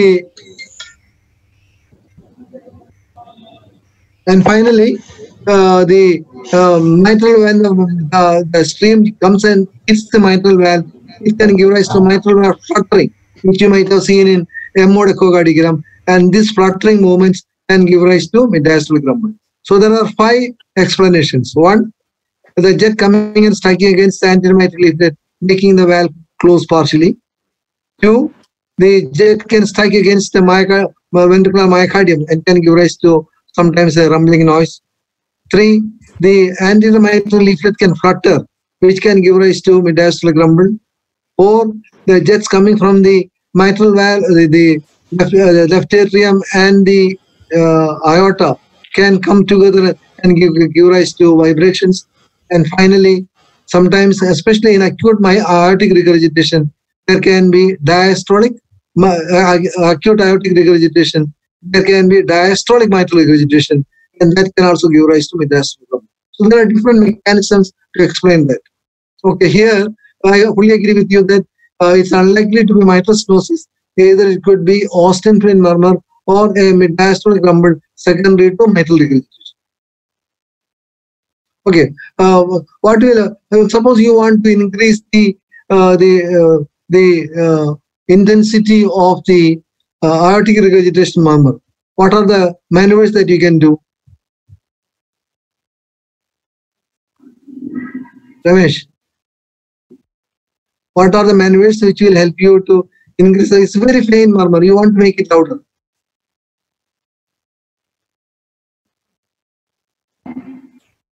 What you should do? What is the hemodynamic uh, uh, alteration which can make the aortic regurgitation murmur louder?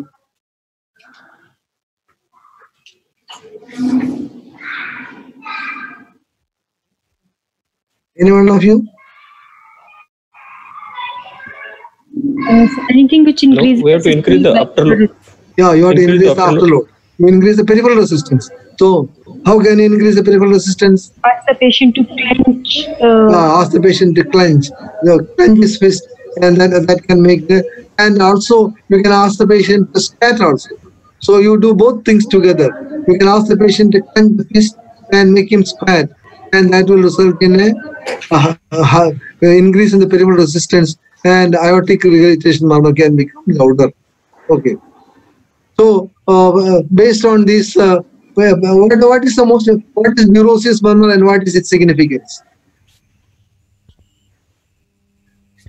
Uh, Neurologic murmur is, murmur is a diastolic murmur, sir. When Okay, we very give the pressure in on the femoral uh, artery uh, and uh, uh, distally, and we uh, auscultate uh, proximally, then uh, we heard the uh, diastolic murmur. That is neurologic murmur, sir. Okay. It signifies uh, there is severe aortic regurgitation. Very good. It is indicates severe aortic regurgitation because there is a reverse flow of blood occurring in the great vessels. That is why there is a Duroziez murmur. Okay, right. Yes.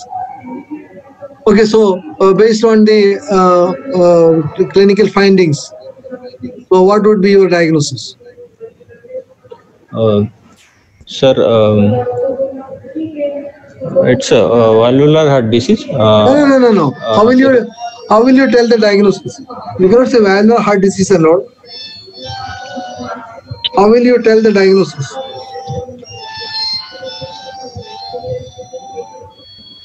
How will you tell the when you tell the cardiac diagnosis? You should have five points in the description of the cardiac diagnosis. One, etiology. Two, altered uh, anatomy or more morbid anatomy. Three, altered physiology. Four, severity of the lesion. And five, complications. All these things should be. Here, what is the etiology?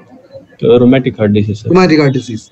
Now, then you should mention of the morbid anatomy, you should mention the most important lesion. Which you think is the most important lesion here? Mitral regurgitation. Why did you say that? What are the points for you to say that this is a severe mitral regurgitation? I'm saying it is severe aortic regurgitation. Why are you saying this severe mitral regurgitation? What are the points by which you assess the severity of mitral regurgitation? Points 1, 2, 3, 4.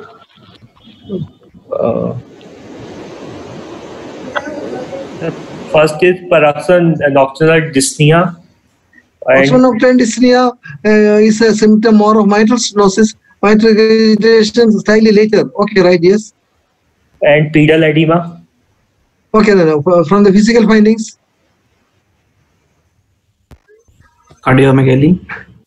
cardiomegaly can occur in both aortic regurgitation and mitral regurgitation. Pulmonary arterial hypertension go more. Yes, if there is a pulmonary arterial hypertension is more in favor of mitral, uh, mitral regurgitation. One, two. You can tell me about the sounds. What will happen to uh, S2 in mitral regurgitation? What will happen to S2 in aortic regurgitation? Usually in MR, the uh, it will be the the A2 P2 will be widely split. Yes, in mitral regurgitation, there will be wide splitting of the second heart sound. In aortic regurgitation, It cannot be made out what do you mean by it cannot be made out? because of the early diastolic. The diastolic murmur will be long, sir. So we will oh, not be able to. No, no, no, no. You should be able to hear it. What happens to second heart sound in aortic regurgitation?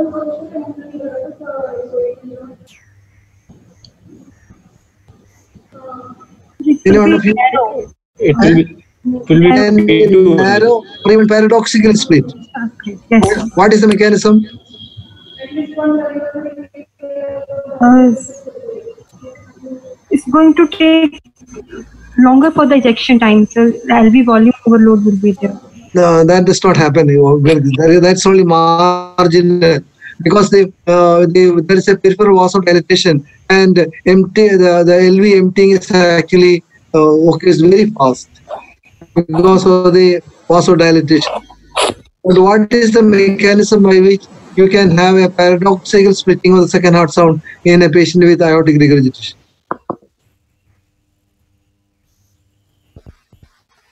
What happens to hangout interval of aortic valve in aortic regurgitation? The, the hangout uh, interval will, because of the peripheral vasodilatation, it will increase. It will be prolonged. It will be prolonged. The, the, the, the hangout interval will be prolonged and that can result in A2 will be uh, it will be delayed. It can become single, single S2, or it can be even paradoxically split S2. And in a patient with mitral regurgitation, it can be So mitral regurgitation, A2 comes uh, uh, early so, uh, earlier, yeah. So, so that you can have wide splitting of the of the A2. A2. And what is the splitting pattern in this patient here? No, no, Normal Normal split. split. It's a normal split. So obviously his uh, effect on the second heart sound, the aortic regurgitation and mitral regurgitation effect has actually got neutralized. Yes. Okay. What is the additional sound uh, in in patients with uh, mitral regurgitation, which will uh, tell you about the severity of mitral regurgitation? The additional sound S3, but Yes, that three. eh? S3. Presence of S3 indicates LVS.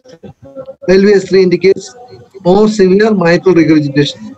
Is he having uh, third heart sound? No, sir. No third heart sound. Well, can you hear a third heart sound in aortic regurgitation? We can and LV phase. LV dysfunction. Yes, you, if there is an LV dysfunction, you can get an S3, but not because of the aortic regurgitation. Correct, yes. So, uh, uh, we, we, we have got, but the patient is having so uh, peripheral signs, even Duroziez murmur is there. So, we are sure that the patient is having severe Severe aortic regurgitation. aortic regurgitation. So, I think you should go for aortic regurgitation first. Patient is having aortic regurgitation severe. I think I will agree with you that MR also is significant. So, but another important point, this patient did not go in for atrial fibrillation. So, if you are having severe MR for such a long period, you would have developed atrial fibrillation. Yes. It is also possible that he must say he might have undergone a mitral repair and his uh, mitral regurgitation might have, uh, Come might down, have slightly come down. So he may he is having moderate to severe mitral regurgitation. Okay, what else? Is he having tricuspid regurgitation? Mild phase.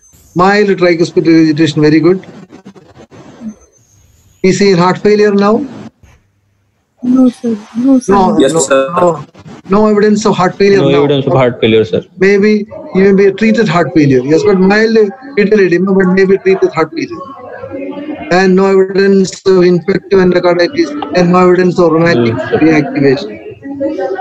Okay, now uh, we'll ju- just look at the X-ray and ECG. What would you like to see first? Do you like to give any other differential diagnosis?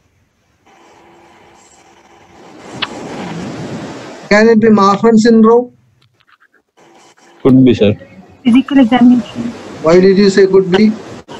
Because it is already dilated. mentioned- No, no, what is already mentioned that uh, uh, this uh, you can discuss that uh, AR and MR and even TR can happen in uh, Marfan syndrome, but he gives a history of rheumatic fever in the past, and also he does not have any any syndromic features.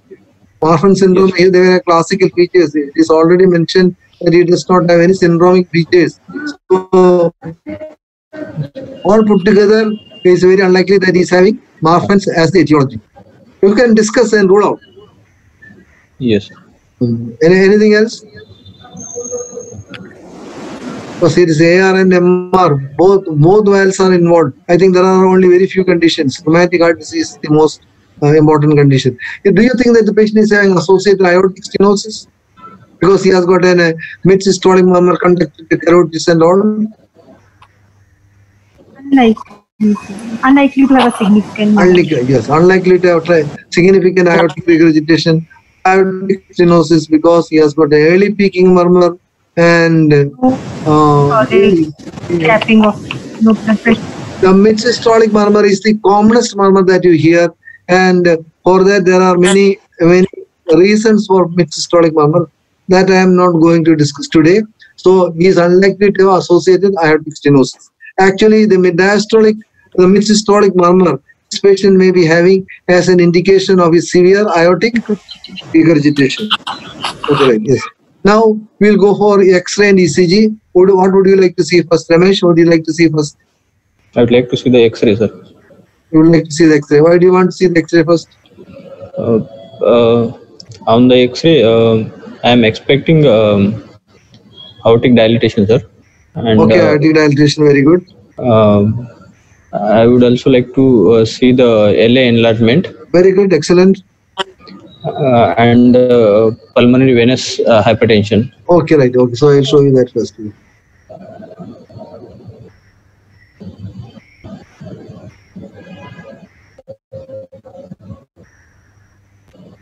Okay. Uh, yes, sir. Uh, this is X-ray PA view, uh, well centralized. Um, I do not know whether it is actually PA or AP view. I'm not sure about it actually.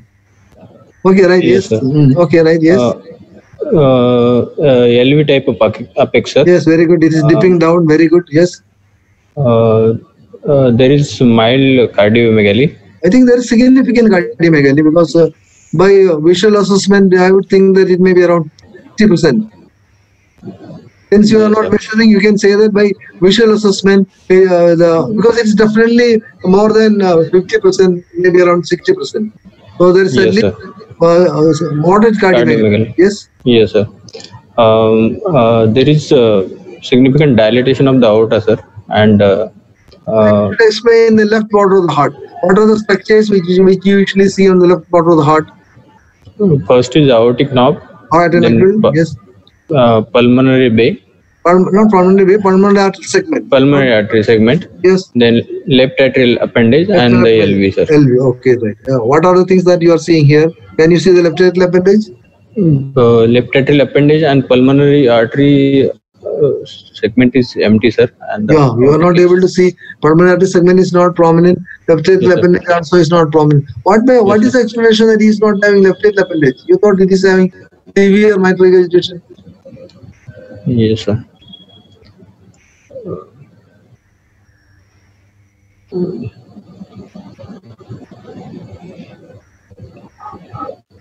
What may be the explanation? Maybe, Oh. maybe during mitral repair they removed. Very good, excellent. That uh, during the mitral valve surgery, uh, when, when he underwent a mitral valve surgery, probably uh, there is a possibility that they might have ligated and removed the Left atrial appendage. appendage. There is a possibility because since left atrial appendage is not seen here, I would expect it, but his left atrium also is not significantly dilated. Okay, right. yes. What else? Uh, there is no significant PVS, sir. Okay. No, you can see that.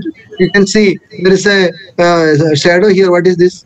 Out, aorta, sir. Ascending out. Ascending aorta is dilated. Very good. Ascending aorta is dilated. So our physical finding that there is dullness in the second and third left right intercostal Right space into space. uh, can explain this X-ray finding. Okay, the aorta is dilated. Upper lobe vessels Upper lobe vessels are not dilated, sir. not dilated. Yes, very good. Upper lobe vessels are not prominent. Yes, very good. What is the mechanism of upper lobe vessel prominence? Uh, redistribution of the Very good. You are right. Redistribution. The blood from the lower lobes are redistributed to the upper lobes in patients with pulmonary congestion, and that will result in uh, the upper lobe vessels becoming prominent. So, what are the other features of pulmonary venous hypertension? uh, Kerley's A line, Kerley's B line, sir. Kerley, Kerley C line is difficult to see. Kerley B lines can be easily seen. Kerley B lines, yes. What else?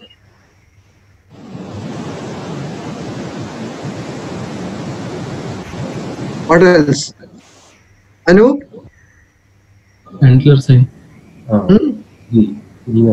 Batwing appearance. uh, Okay, pulmonary edema, batwing appearance, and before that you can also describe uh, ground glass appearance of the lung field. The four points: one, upper lobe vessel prominence, uh, Kerley B lines, A lines, ground glass appearance, and battering appearance, which is appearance of the acute pulmonary edema. So, is you see left atrium enlarged? No, sir. No. What are the uh, X-ray evidence of left atrium enlargement? Um, there is a uh, double at, usually there is double atrial shadow. If Okay, that's a shadow through shadow. Very good. Yes. Uh, then uh, then carinal angle will be increased. Very good. Cardiac widening of the carinal angle. Excellent. Um, The prominence of the left atrial appendage. yes, sir. What else? And sometimes left atrium can bulge onto the right side Right side. of the right side in a very huge enlargement. So the left atrial enlargement can be posteriorly, the double shadow. Upwards, the shifting of the uh, left bronchus and carinal angle becomes wider. Towards the left side, left atrial appendage becomes prominent. Towards the right side, the left atrium can bulge beyond the right border of the heart. So the left atrium enlargement can be posteriorly, upwards, to the left and to the right. It cannot enlarge anteriorly and inf- inferiorly because inferiorly there is the left ventricle and anteriorly there is the aorta and the RV outflow. Okay, so uh, the, the, the X-ray does it suggest more severe mitral regurgitation or aortic regurgitation? Aortic regurgitation. Aortic regurgitation. Would you like to see the ECG also? Yes, sir. Uh, sir, one doubt, sir. Hello. Yeah, please. Uh, sir, X-ray sternal sutures I am not able to make out. Sir, if previous history of surgery, sir, sternal sutures I am not able to make out on my computer. Sir, sternal sutures, sir, that I am not able to make out. I also agree with you. I am not able to see the sternal sutures. But you can, I don't know There whether are you can- one, Because, sir, if- One one is to two sutures I can see, sir. One is seen here. Yes, sir. Two sutures I can see, sir. Down And the other side it is a it is a portable film. Sir. It is a portable film. Sir. Right upper corner POR is written. Sir. So it is a AP film most probably. Right upper corner you see POR is written. So it's a portable film, uh, AP film. Yeah, most yeah. probably. I, I also because agree. with- clavicles also I, I agree with you that it, I also thought it may be uh, not a PA view, but it's an AP view because of the, the slanting of the um, uh, ribs and also the, uh, the rib, posterior part of the rib, the spine uh, is, is much more prominent. I fully agree with you. That may be the reason why we are not able to see the uh, the the uh, uh, the sternal wire. One is seen here. Others are not very clear to me. One is seen here. downward one also again. the one also more one send more also. clear, not very clear for Beg your pardon?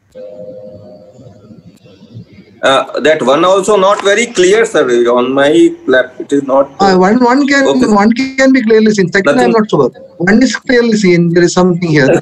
okay. I agree with you that we, this is a, maybe a PA view, that AP view. That may be the reason why you are not able to see the the uh, sternal wires uh, uh, very clearly. He has got a. And sir, that that that- and that cardiac cardiomegaly shall we make out sir on AP film or better to skip sir to say that cardio AP film cardiomegaly not to be commented or we Yeah, can yeah, sir on yeah, this. uh, you can actually it's to be commented only in a view.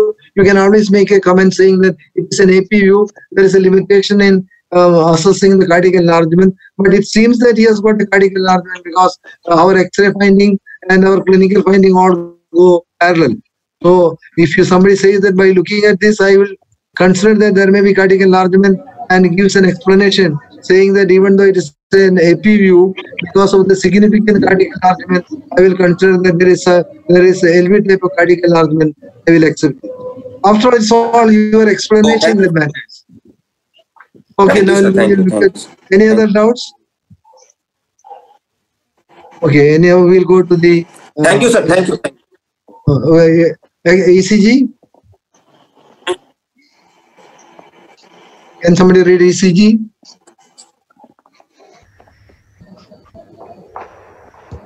from the clear. Uh, is there a left, is there a left atrial enlargement? Is there LVH? What is it? Is LVH normal Yes, there's type? a- yes, there is LVH. What is it? There is Pressure LVH overload or can- overload?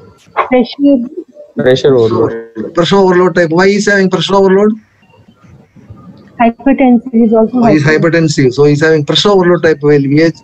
And what about uh, uh, left atrial enlargement? Atrial enlargement is There normal. is left atrial enlargement. No, no, I don't think so. Because uh, in in uh, even, there is not even a, uh, No, no, negative no. comment is not, not Positive there. It's not positive wave. So it's having uh, uh, no evidence of left atrial enlargement. So uh, from the electrocardiogram and X-ray, I I think we have to consider that aortic regurgitation is much more severe than mitral regurgitation. Okay, we have to go to the echo. I think already nine o'clock. Uh, we will have echo and how to manage with manage this case. You can uh, read about the management, especially uh, in patients where their aorta is dilated. What should be the surgical management? All these things you can read up, and we'll have a discussion continuing on the next class about the echocardiogram, the clinical diagnosis, what is the surgical treatment and what is the risk of surgical treatment and if it is surgical treatment what should be the surgical procedure. So if you have got any doubts about things which we have already discussed today you can ask now and we can continue with the case uh, in the next on next friday. Any doubts? Sir, sir, uh, sir, uh, sir, one doubt. Hello. ah yes Uh, I'm audible, sir. Hello. yes I, you are audible to me you are Hello. audible to me ah you are audible I, sir, sir, sir, uh, sir, small doubt in mitral stenosis patient, sir. When we say, sir, S1 loud, sir, then how to compare that because A2 P2 we very sure A2 and P2 or you compare with A2 or, or if compare with S1. But if we are saying S1 is loud, it is a subjective feeling or we have to compare with any other sound and we can say S1 loud. No, I could not hear. I am not Uh, able to. You are not very clear. Uh, can you uh, speak to the? Can you speak to your mm, phone very closely? I am not able to hear you. You are, you are audible but not clear. Now it's okay, sir.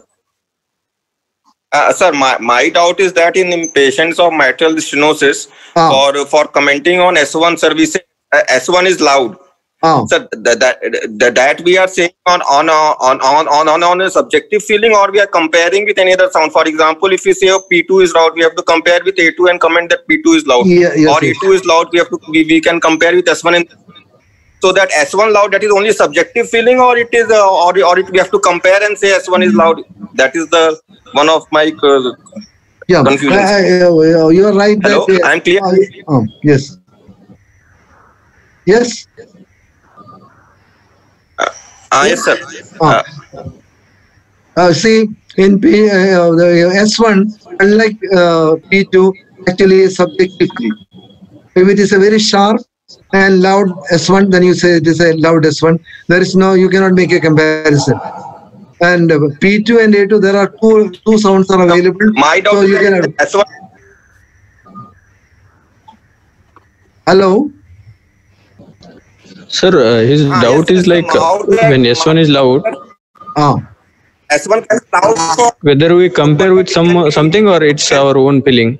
No, it, it is actually subjective feeling. You cannot compare with any other sound. Okay, thank It is it's a subjective feeling. You have to uh, repeatedly hear the sound and you should know what is normal sound, what is a, a, a loud sound, what is a feeble sound. You cannot compare because there are no additional sound. There is no other com- sound for you to compare with.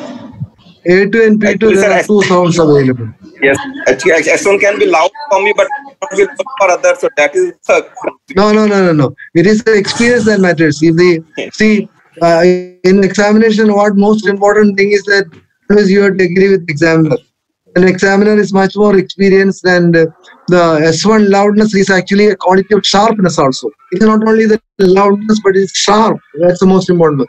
Sharp sound, high pitched, sharp sound. okay. Okay, thank you, sir. Thank you. Thank Any you. any other Thank doubt? you. Sir, one doubt Hello? is there, sir. Oh. Sir, regarding etiology uh, in this case, sir, Ah. Uh, rheumatic heart disease is definitely an etiology because history of rheumatic fever is there and also mitral valve involvement is there. Okay. But uh, considering aortic regurgitation with aortic root dilatation, Oh. how far is it common in rheumatic etiology? I Whether get- we should consider bicuspid aortic valve as a etiology for AR in this case? I agree with you. You have to because after seeing the X-ray, you have to start thinking whether whether he has got an abnormal uh, vascular pathology, and that we can assess when we do the echocardiogram. Okay. When you look at the echocardiogram, you have to make an assessment whether there is a structural abnormality of the aortic valve, like bicuspid aortic valve, which is the reason for his dilated aorta. I agree with you. Fully agree with you. Okay. sir. But only problem is that whenever there is bicuspid aortic valve, which is a more common lesion, is it aortic regurgitation or aortic stenosis? Which is the more common lesion? Aortic stenosis is Aortic stenosis. Aortic stenosis is more frequent. Oh, then so so that you then you can think a structural abnormality of the aortic valve with a uh, abnormal tricuspid aortic valve. In aortic valve abnormality, as the number of cusps increases, the aortic regurgitation becomes more and more prominent. And as the number of cusps goes down, the aortic stenosis becomes more prominent. So when the patient is having unicuspid aortic valve, it is almost always aortic stenosis. If it is bicuspid aortic valve, mostly aortic stenosis, there can be some degree of aortic regurgitation also. When, when it is tricuspid, uh, uh, abnormal tricuspid aortic valve, mostly aortic regurgitation, sometimes there can be mild aortic, mild aortic stenosis. When it is quadricuspid aortic valve, it is always only aortic regurgitation. So as the number of the cusps increases, there will be more and more aortic regurgitation. As the number of cusps decreases, there will be more and more likelihood of aortic stenosis. Okay, sir. Okay, Sir, one doubt, sir. Yeah, yeah. Sir, one doubt, sir. Yeah. Uh, sir, uh, when, while writing the diagnosis, sir, uh, sir, it is a post-surgical case, sir. Yeah. Sir, sir, why- where should we mention about the surgery, sir? You should say that rheuma- rheumatic heart disease, Yes, sir. uh, post-surgical, immediately after that. Then you should say the morbid anatomy. First etiology, then the surgery. Then the then the uh, morbid anatomy. Because you are seeing the patient after surgery. The mo- morbid anatomy that you are going to describe now is a post-operative patient. So uh, rheumatic heart disease, post-operative patient, and most likely a mitral valve repair has been done. We are not certain. A mitral valve repair has been done, and then describe the lesions. Okay, sir. Okay. Thank you, sir. Anything else? Sir, one doubt, sir. Uh, sir, can we differentiate between the vascular click and valvular click only on auscultation? Oh, eh, sometimes it's difficult. You you are you uh, you have to uh, depend on the clinical scenario, because if the patient is not having a, a an ejection systolic murmur, suggestive aortic stenosis or pulmonary stenosis, and then you are hearing a click, then you will explain it by saying that it is a vascular click, as can occur in pulmonary arterial hypertension or systemic hypertension or aortic aneurysm. So you have to look at the the uh, the scenario. But if the, the if the click is phasic, then you can be certain that it is a valvular pulmonary click. Thank you, sir. Right.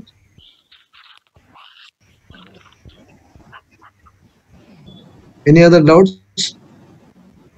So one more, there is a TR murmur without loud P2, sir. It's a mild TR. I think that is why. Uh, so it is a, uh, most likely. I don't know whether it may be mild uh, or rheumatic involvement of the tricuspid valve. It may not be due to pulmonary hypertension. Maybe Yes, mild involvement of the tricuspid valve. Organic tricuspid. Organic tricuspid, mild organic tricuspid valve involvement. Yes, sir.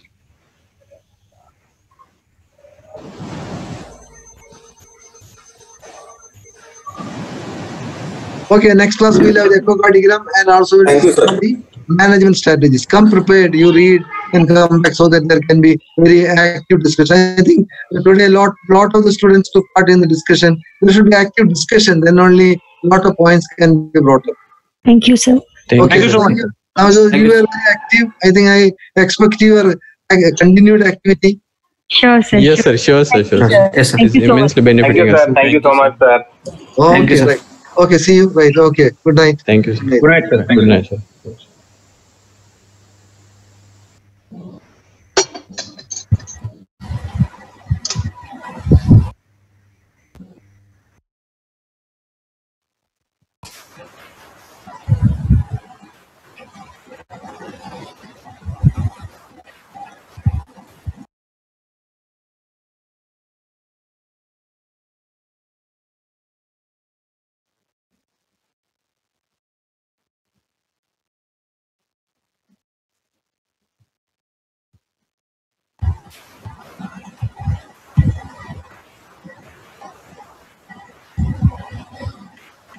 Okay, Jinoy. Thank you, sir. Thank you, sir. Thanks a lot.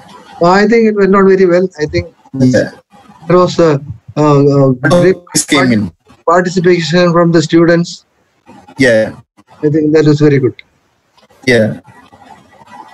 Okay, so good night. Okay, night. Good night. Good night.